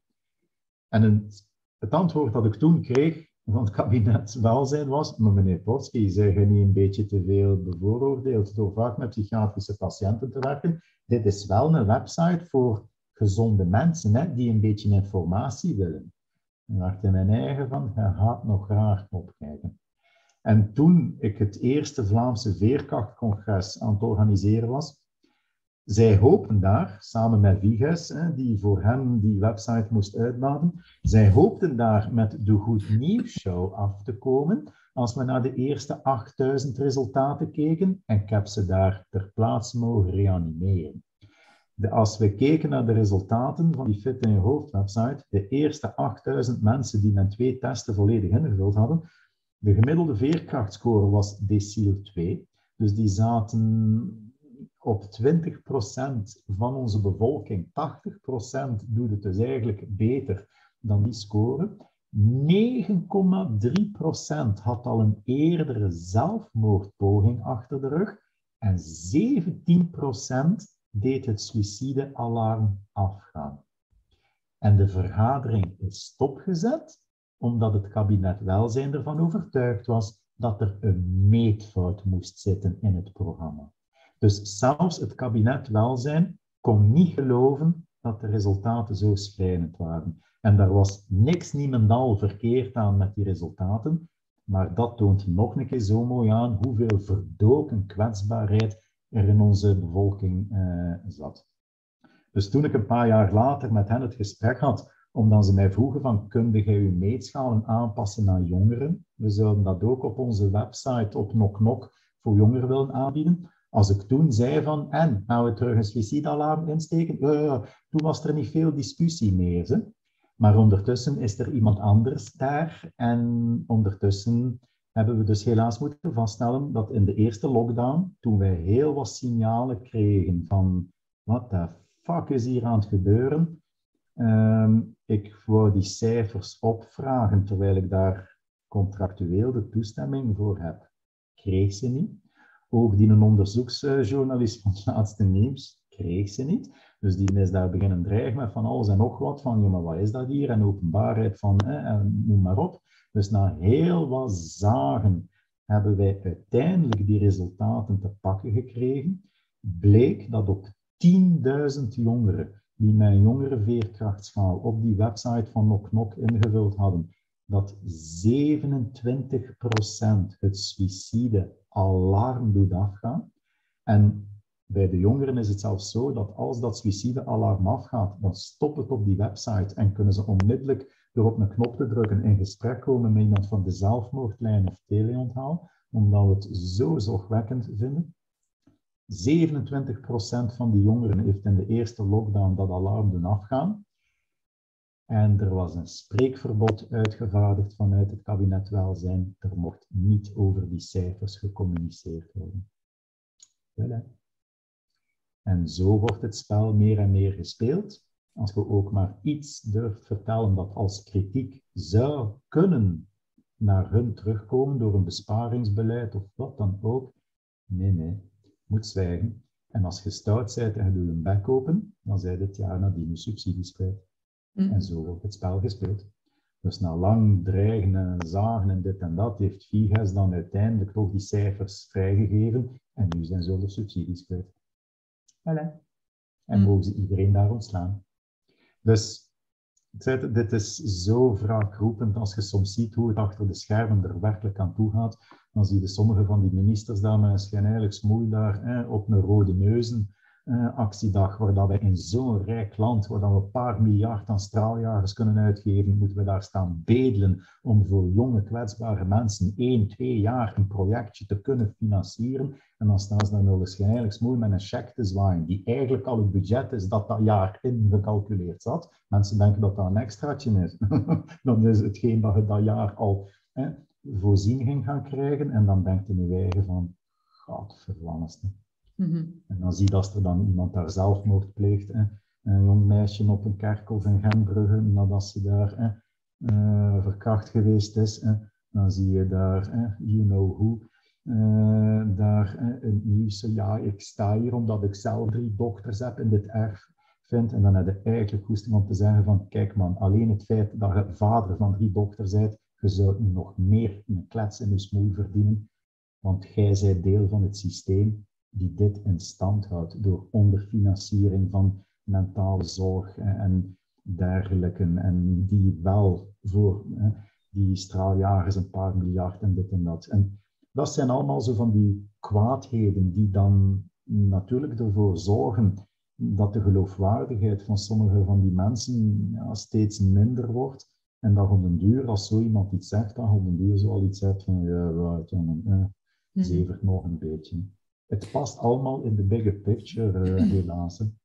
Ja, absoluut. Ja, uh, allee, inderdaad. Hè. Dus, en ik denk dat de laatste twee jaar ook wel heel veel uh, blootgelegd hebben. Van, allee, waar dan mensen al een, een wantrouwen hadden ten opzichte mm. van um, journalisten of van um, politici of van weet ik veel wat, is het alleen maar erger en erger geworden, uh, denk ik. Zeker de laatste twee jaar, omdat we toch wel gezien hebben, jij sprak daar juist over een, een, een debat voeren. Ja, het debat is, is, is, uh, is quasi niet, niet mogelijk. En dus gaat men zijn heil zoeken in alternatieve uh, kanalen zoals social media, maar die ook zeker niet als altijd... het ook een stukje gemanipuleerd wordt. Hè? Want allee, ja. ik weet dus via via, ik mocht dat niet weten, maar ik wel maar bij sommige duidingsprogramma's van de VRT bleek ik op de zwarte lijst te staan. Van die mogen niet uitnodigen, omdat ze schrik hebben dat ik in mijn gedacht zou zeggen. En dan een keer de werkelijke historie achter sommige zaken zou vertellen. Dus ja, word je dan zo'n stukje gediscrediteerd van uh, ja, die moet je niet uitnodigen. Dus ja, wie dat braaf meegaat in het verhaal, die mag uh, uitgenodigd worden. Maar diegene waar dan ze schrik van hebben van oei, die is niet gebonden aan een of andere universiteit of een organisatie. We kunnen die niet eigenlijk in het gareel houden met subsidies af te pakken. Die zou wel een keer zijn gedacht durven zeggen. Dan zijn het te gevaarlijk. Hè? Ja. Dus ja, het is wat het is. Hè. Mm -hmm. En soms voel je je zo'n beetje een Don Quixote die tegen de windmolens aan het vechten is. Maar uiteindelijk, hè, allee, ik wil, u, ik wil nu niet naar zo'n medaille voor uh, zelfopoffering zitten hangen of wat dan ook. Maar ik kan u verzekeren, de mails die je soms binnenkrijgt van mensen die u willen bedanken, omdat je toch het voor hen durft opnemen hebt, omdat je toch een keer de waarheid durven schrijven of zeggen hebt, dan pas beseft je weer met wat dat je echt bezig bent. En mhm. dat je soms, zonder dat je het beseft, je kent die mensen niet, je hebt die nooit gezien, maar dat je soms een verschil maakt in iemand zijn leven, ik kan u verzekeren, als je zo van die mails krijgt van mensen die zeggen van door wat ik in uw boek gelezen heb, heb ik die een dag geen zelfmoord gepleegd. En uh, dus iets, uh, oké. Ehm, dat is iedere keer weer zo'n wake-up call van, ah fuck, maar je bent met zoveel meer bezig dan uw boterham verdienen. Bij mensen die je soms niet eens kent. En dat is soms een heel raar gevoel, maar dat zorgt er ook voor dat je dan zoiets hebt van, blijf beseffen wat je mee bezig bent, blijf ook beseffen voor wie dat je het soms aan het opnemen bent. En dat we het echt, ja, soms zeker in mijn branche, maar dat we het voor heel, heel kwetsbare mensen moeten opnemen, die zelf absoluut assertiviteit niet hebben om voor zichzelf op te komen. En een zeer makkelijke groep zijn om een beetje opzij te schuiven als het dan om de budget- en de begrotingsgesprekken en dergelijke uh, gaat. En ja, als er een keer iets heel, heel triest gebeurt, dan, dan gaan ze zo'n druppel op een de plaat en nou, we gaan nu weer een paar, een paar extra crisisbedden gaan vrijmaken. Maar we moesten weten hoe lang dat die wachtlijsten zijn. Hè. Het is, ja, het is mhm. een schone schijnoperatie. Mm. En de toekomst ziet er nu ook niet direct uh, zo fameus uit. Uh, want we hebben het daar straks al gehad, ja, wat dat we de afgelopen allee, twee jaar of deze drie jaar meemaken, dat gaat blijven uh, voortdijnen in volgende generaties.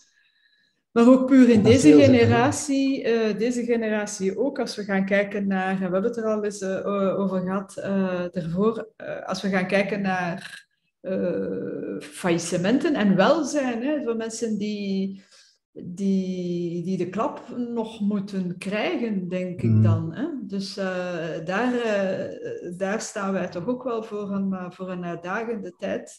it's only just begun, hè, bij wijze van spreken. En die ook heel geminimaliseerd wordt. Hè.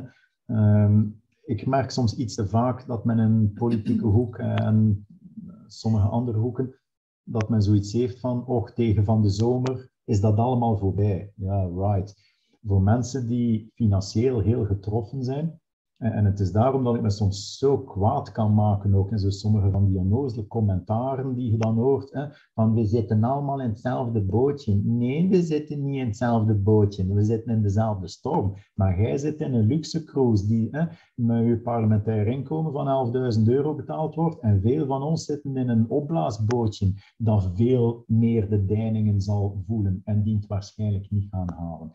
En ik vind dat zo roepend dan diegenen die het luidste staan te roepen van oh, ieder, het is voor iedereen hetzelfde en we moeten ons allemaal aan de regels houden, dan dat wel degenen zijn die er financieel niks van last van ondervonden hebben.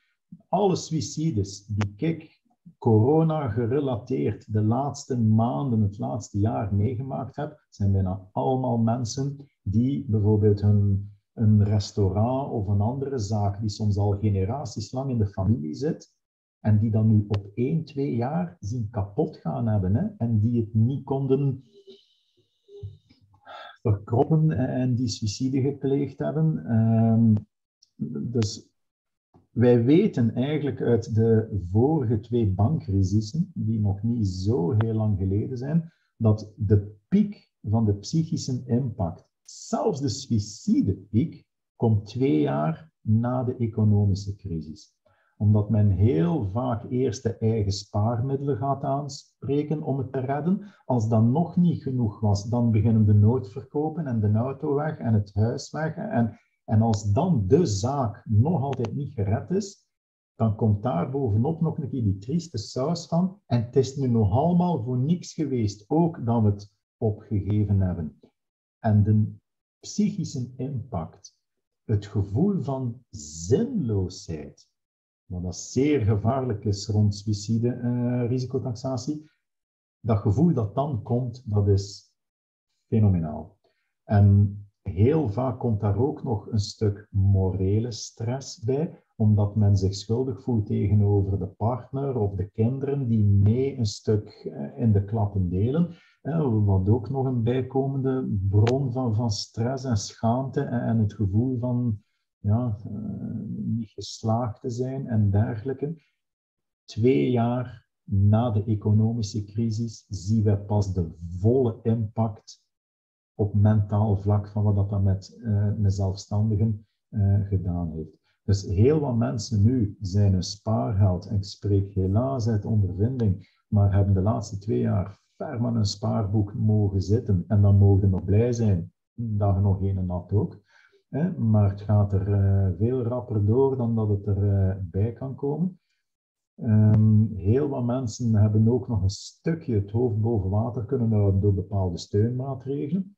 Maar ik denk dat veel mensen niet beseffen dat als ze daar met zo van die leuke barometertjes afkomen, dat dat natuurlijk ook als implicatie heeft dat als je naar een veiliger zone in die barometer gaat, dat het als consequentie ook heeft dat de steunmaatregelen meteen stoppen. En dat je er dan alleen voor staat. Dus al die mensen die nu zo staan te roepen en tegen van de zomer zijn we erdoor en praten we die, er niet meer van. Ja, ik wil het nog eens zien hoor. Mhm. En ik moet, ik moet niet ver kijken, ik moet maar in mijn eigen agenda kijken. In pre-corona jaren heb ik jaren meegemaakt dat ik 134 lezingen op een jaar had. Dit jaar heb ik nog nooit meegemaakt. Hans de maand januari, niks.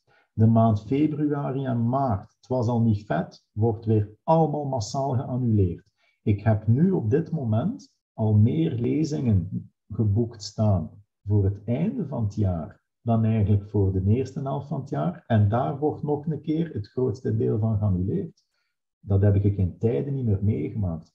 Dus dat geeft zo'n financiële onzekerheid. En het komt bijna terug op het eerste wat we zeiden, zo een interne dialoog, hè, dat je continu dat allemaal zit overschouwen en wat heeft dit voor consequenties en daardoor ga ik dat en dat misschien beter nu niet kopen of permitteren. Of...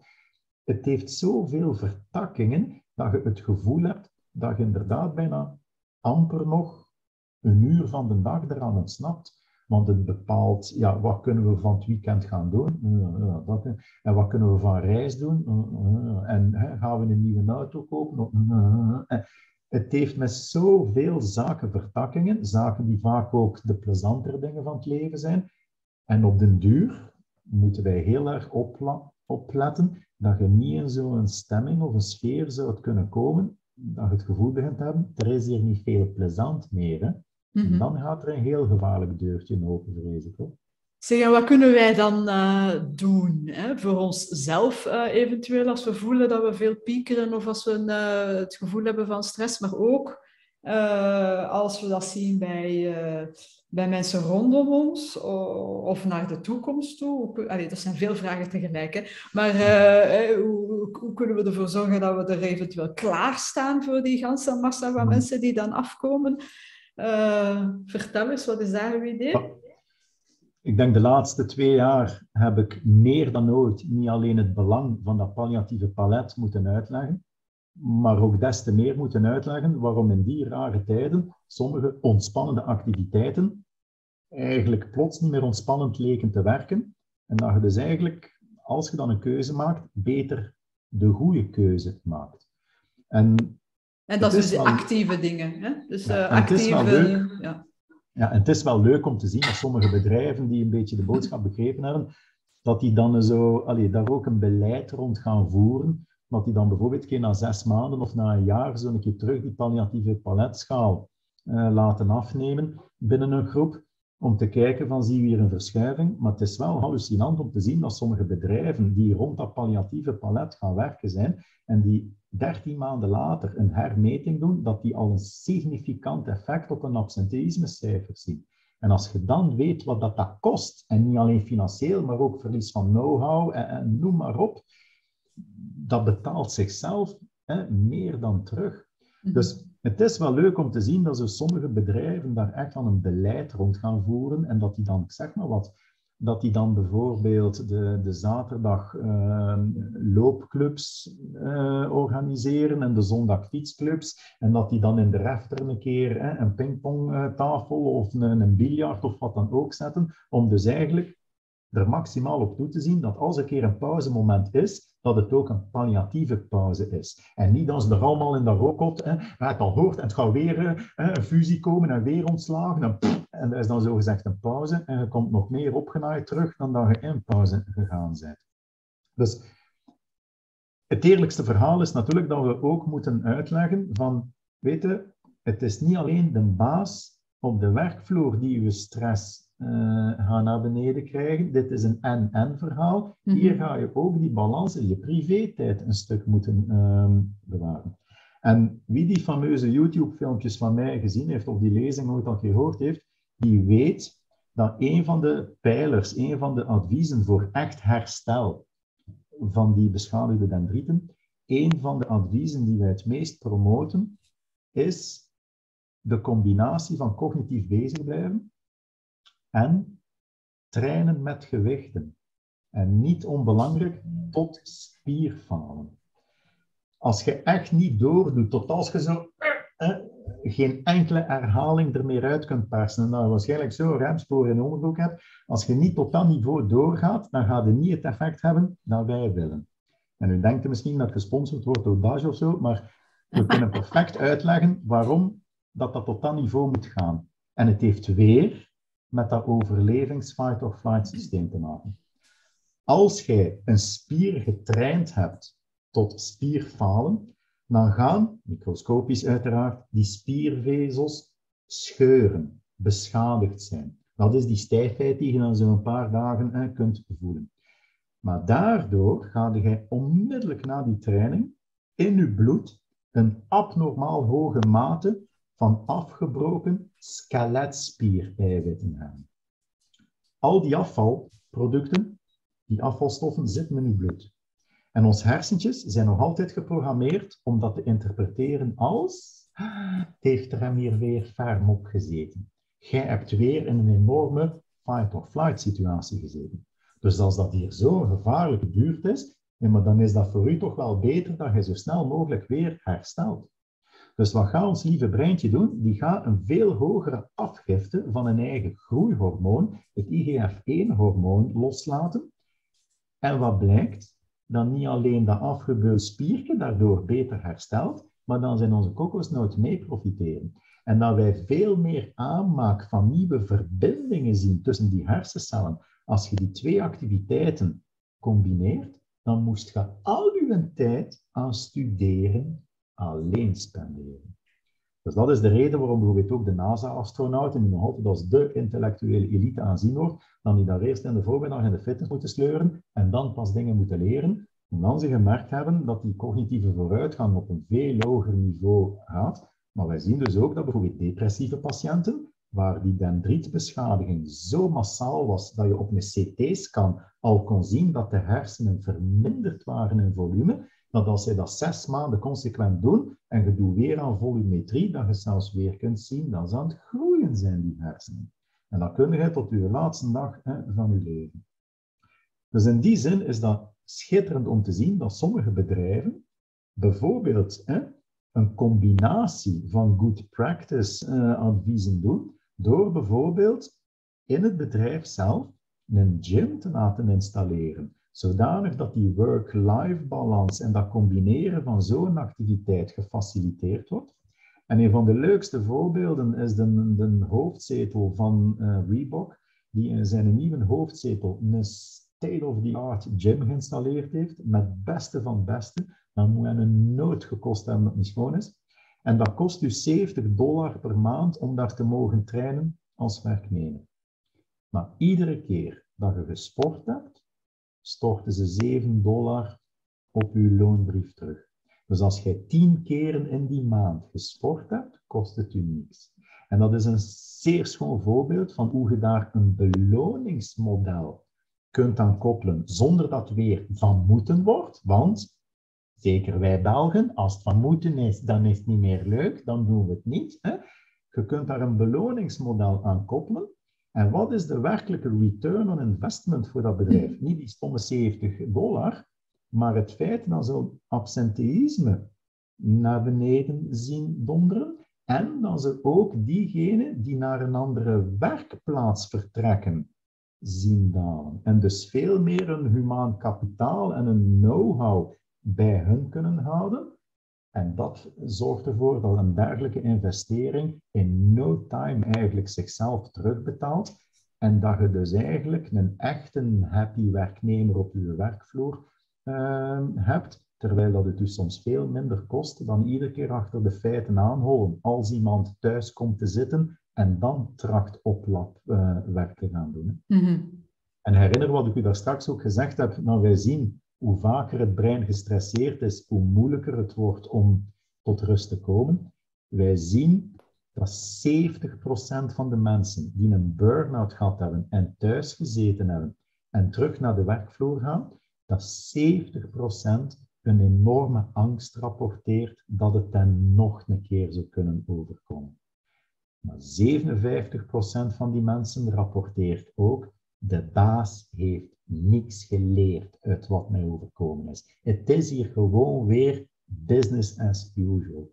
Dus dan moet je niet verwonderd zijn dat dat meer vigilant geworden brein, dat eigenlijk niet meer hetzelfde denkt en functioneert zoals voordien, dat, dat als er niks van aanpassingen, niks van lessen getrokken wordt, dat die een er massaal in zit, dat het nog een keer zou kunnen gebeuren. En dan moeten wij ook niet verschieten dat zo iemand bijvoorbeeld de bal overslaat naar het andere eh, kamp en dan bijvoorbeeld in dat bore-out gedrag terechtkomt. Want ik moet opletten dat ik weer niet te veel werk op mij neem, dat ik weer niet te veel hooi op mijn vork neem. En dan begint men zich met allerlei van die onnozeliteiten bezig te houden om niet te veel te werken. En dan begint het gezaag omdat je deadlines niet haalt. En dan is daar weer stress. En we zijn weer richting herval aan het gaan. En als je die tekeningen met die, die beschadigde dendrieten in het achterhoofd houdt en dan begrijpt wat ik bedoel met echt hersteld zijn, ja, dan begrijpt je waarom dat ik zeg dat veel te veel mensen veel te vroeg terugkeren en dat de deur naar een herval binnen de 1 à 2 jaar rekwijd open staat. Want eigenlijk zijn je nog niet hersteld, maar je hebt zodanig schrik ja, daar ontslagen zult worden of je collega's in de steek laten of wat dan ook, dat je eigenlijk teruggaat op een moment dat je nog niet echt hersteld bent. En dan is het pijnlijk hoe voorspelbaar de dingen uh, soms weer mislopen. Mm -hmm. Maar ik denk als bedrijf dat men echt moet leren om een lange termijnvisie te hebben. En ik weet het, het is een, een stout stokpaardje van me, maar ik vrees dat wij de laatste decennia van langs meer een type manager gekweekt, beloond hebben met allerhande bonussystemen, die eigenlijk nog maar twee vragen eigenlijk stellen. Wat kost het ons en wat brengt het ons op? En men gaat zich zodanig gaan blindstaren op die winstcijfers en die boekcijfers op het einde van het jaar, maar men ziet niet hoeveel verdoken kost er is of verdoken opbrengst er is om die presenteïsmegroep binnensboord te kunnen houden. Mhm. En dat is minder sexy. Het is veel leuker om de aandeelhouders content te kunnen houden met woehoe, zoveel winst en dit en dat. Maar al dat geld dat bespaard zou kunnen worden door minder verloop, minder verlies van know-how en dergelijke te hebben, en weer sollicitatietesten en weer dit en weer dat, dat is zo een verdoken opbrengst, dat wordt minder gezien. En dat is heel jammer. Wij zien van langs dan meer een korte termijnvisie en geen lange termijnvisie meer, terwijl mentaal welzijn is per definitie bijna een lange termijnvisie die je moet hebben. En een happy werknemer is eigenlijk een waar ook meer aan verdient. En het heeft dus soms minder gekost dan sommige noodinterventies en oplapwerk. Maar ik vrees dat heel wat managers uh, zo'n beetje gekweekt worden in die korte termijnvisie van hun boekjaren, om dan nog maar te zwijgen van het feit dat heel wat mensen tegen dat de sociale impact van hun besparingen of hun afdankingen of wat dan ook zich echt op de werkvloer laat gelden, zijn zij al lang weg. Hè? En zijn die al ergens binnengehaald in een ander uh, bedrijf waar ze met de rode loper binnengehaald worden, want nu hebben we een goeie. En moet je kijken hoe dat hij die winstcijfers er gemaximaliseerd heeft en dat hij daar een emotioneel, mentaal, psychisch slagveld achtergelaten heeft. Hoe de fuck cares? Hè? Mijn aandelen zijn lekker duur verkocht en ik stel maar dat is inderdaad, denk ik, ja, maar het is wel een. Uh, ja, het is herkenbaar en het is inderdaad een. Zeker een beursgenoteerde bedrijven. Ja, ja, ja. Maar uh, het is iets van de laatste decennia, een paar honderd jaren, en wie weet hoe lang al, Wij, uh, het, het, moet altijd meer, meer, meer zijn. Hè? Double digit growth. Ik heb nog bij Janssen ja, Pharma gewerkt. Dat kan niet blijven duren. Nee, nee, nee. En daar ging het ook altijd over. Hè? Er is ook niks mis met Janssen Pharma op dat moment. Allee, whatever. Hè? Dus, uh, maar ik herinner mij, daar heb ik de eerste keer over die double digit growth uh, horen spreken. Alsof dat dat als dat het enige drijfveer is, en ik denk dat dat een wildgroei is, is geworden op den duur van, van inderdaad verkeerde managers en, en systemen. Dat het, en een en we kunnen dat, Ja, en we kunnen dat niet volhouden. Hè? Dus uh, dat is, dat, dat kan is niet blijven aan het gaan. Duren, nee, Integendeel. Ja. Stel nu, uw objectief is 100.000 euro draaien. En ondanks het feit dat het, dat het economisch moeilijke tijden zijn, heb je 107 gedraaid. Commentaar. Ja, jongen, heb dat goed gedaan. Uw objectieven voor volgend jaar? 115. Jij kunt dat. Ondanks het feit dat, je, dat het moeilijke tijden zijn, heb je een beter cijfer gedraaid. Bijvoorbeeld 112. Maar heb die 115 niet gehaald, toch krijg je op je doos. Ja, ja, het zal toch volgend jaar wat beter moeten. Hè? Want ja, objectief. Dus je hebt het eigenlijk zelfs beter gedaan en toch heb je het gevoel dat je afgestraft wordt. En dat is zo'n pervers systeem, dat moet vroeg of laat eigenlijk mislukken. Ik ken mensen die zo in die verkoop... Ja, mijn eigen vader was uh, directeur bij Novartis. Ik heb genoeg gezien hoe dat de mentaliteit begon te veranderen en hoe het om de duur van die vergaderingen waren. Uh, beste... collega's, we hebben een nieuw product uitgevonden uh, voor teenschimmel. Uh, een behandeling is 90 pillen, maar we gaan een doos van 120 op de markt brengen, want dan verdienen we meer. En dan zat mijn pa daar van, wat, wat, wat is dat voor zeven? Hij heeft gezien hoe dat die mentaliteit begon te veranderen en het was echt big business.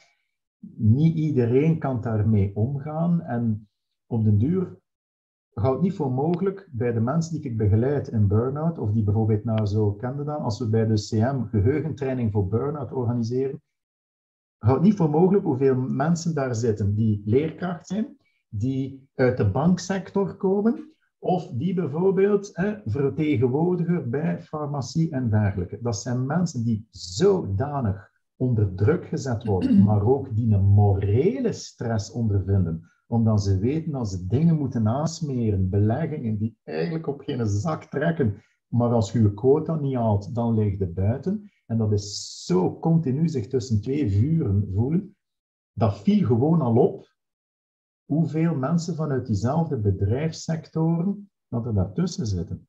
En dan zie je dus dat sommige van die mensen, als ze dan hun objectief behaald hadden, en we waren nog maar, zeg maar wat, eind november, begin december, het was een goed jaar geweest, als zij dan nog een verkoopscontract binnenhaalden, dan vroegen die heel vaak aan de klant van, is dat voor u erg als wij antidateren op volgend jaar? Want anders kloot ik mijn eigen. Anders ga ik ervoor zorgen dat ik volgend jaar zo onrealistisch hoge verwachtingen moet halen. Dus continu zitten die mensen met zo'n financieel zwaard van Damocles boven het hoofd. En je kunt zien dat je zoveel, en dat is continu druk, dat is stress, en we weten wat dat stress dus doet uh, bij ons. Dan beginnen uw eigen collega's ook als concurrent te aanzien.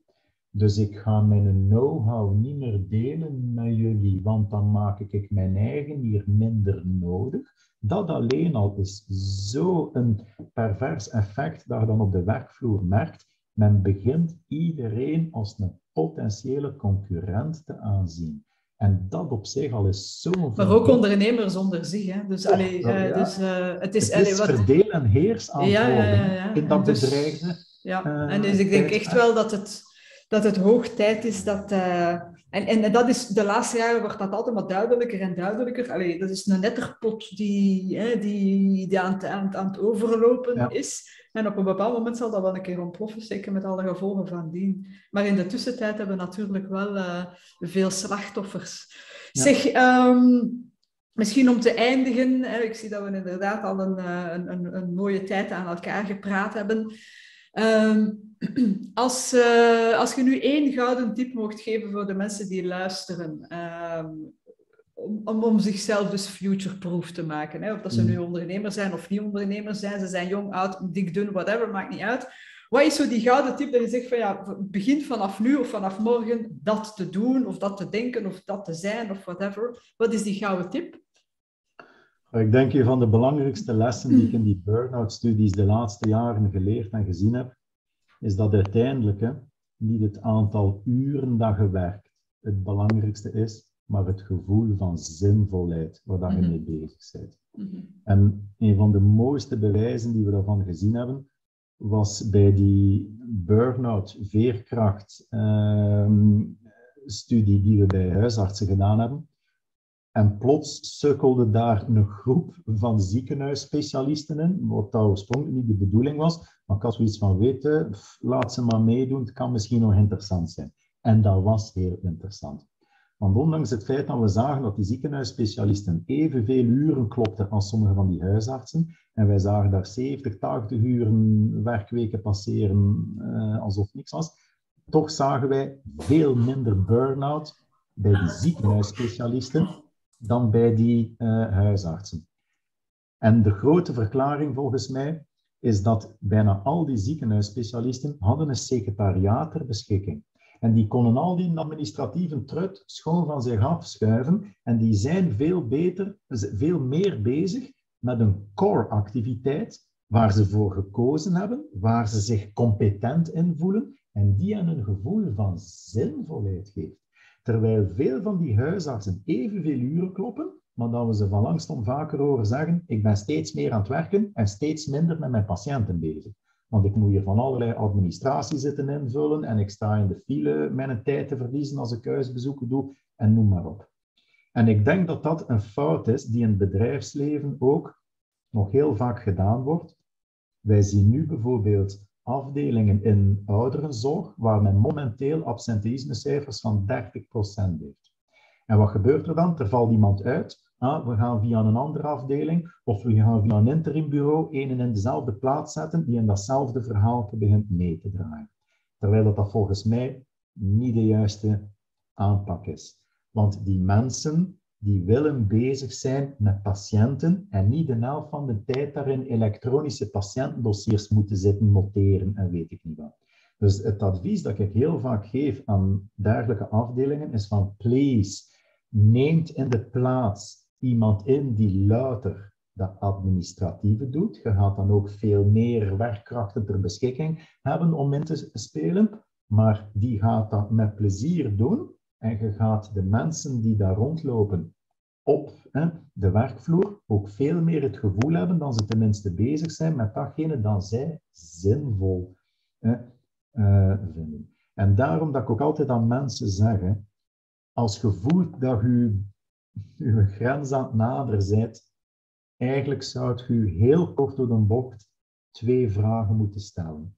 De tijd die ik spendeer aan het werken en aan de werkjes, de karweitjes die we ook elke dag moeten doen, in huishouden en wat dan ook, vind ik die een tijd zinvol besteed.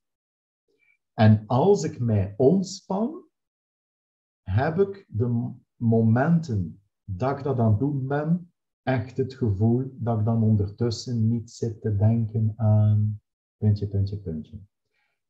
Als je die kwaliteitstoetsing doorstaat, dan zit je eigenlijk al heel goed. Heel veel mensen, zelfs al worden ze door de medisch adviseur op een halftime gezet, als je elke minuut op dat werk je zit af te vragen, waar zit ik mijn tijd hieraan te verprutsen, dan is een halftime even uitputtend voor uw batterij, even leegzuigend voor uw batterij als daar fulltime rondlopen. Terwijl ik mensen ken die 70, 80, 90 uur werken en die gaan nooit een burn-out hebben, want ze doen het graag en ze voelen zich competent in en ze vinden het zinvol.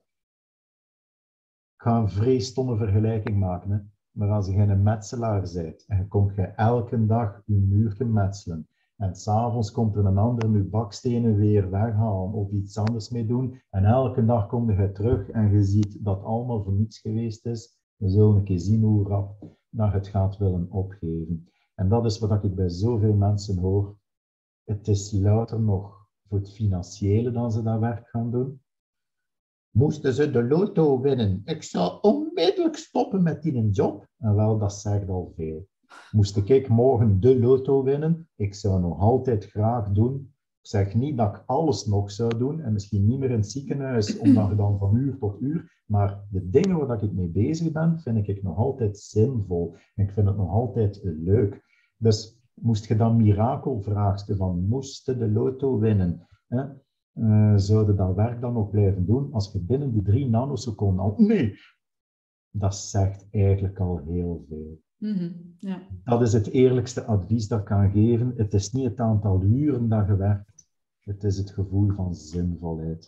Uh, en dat is de reden waarom dat ik bijvoorbeeld nog altijd, mensen lachen ermee, maar met mijn onnozel gsm van 50 euro werk en geen smartphone, dat zijn bewuste keuzes, dat is de grens trekken. Nee, ik wil niet in mijn privé, quality, me-time, dat ik probeer om die knop om te draaien, wil ik niet met werkgerelateerde mails bezig zijn en wat dan ook. Zelfs al zegde dan, godverdomme, het is voor het werk, ik ga er maandag maar op antwoorden, toch heb je in je privé-tijd weer een knop omgedraaid. Hm. En dat wordt één grijze zone. Er is geen me-time, work-time meer. Het is één grijze diarree aan het worden. En dat is zo'n vergiftigd geschenk. Hè.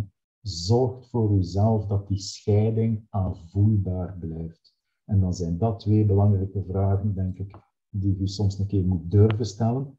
En er ook uw consequenties Ja, en het kunnen doen inderdaad, want ik ken inderdaad ook genoeg ondernemers die of, of, of uh, daarom zelfs niet alleen ondernemers, maar ze, kunnen, ze durven inderdaad hun grenzen niet aan te geven. Ja, maar ja, maar ja.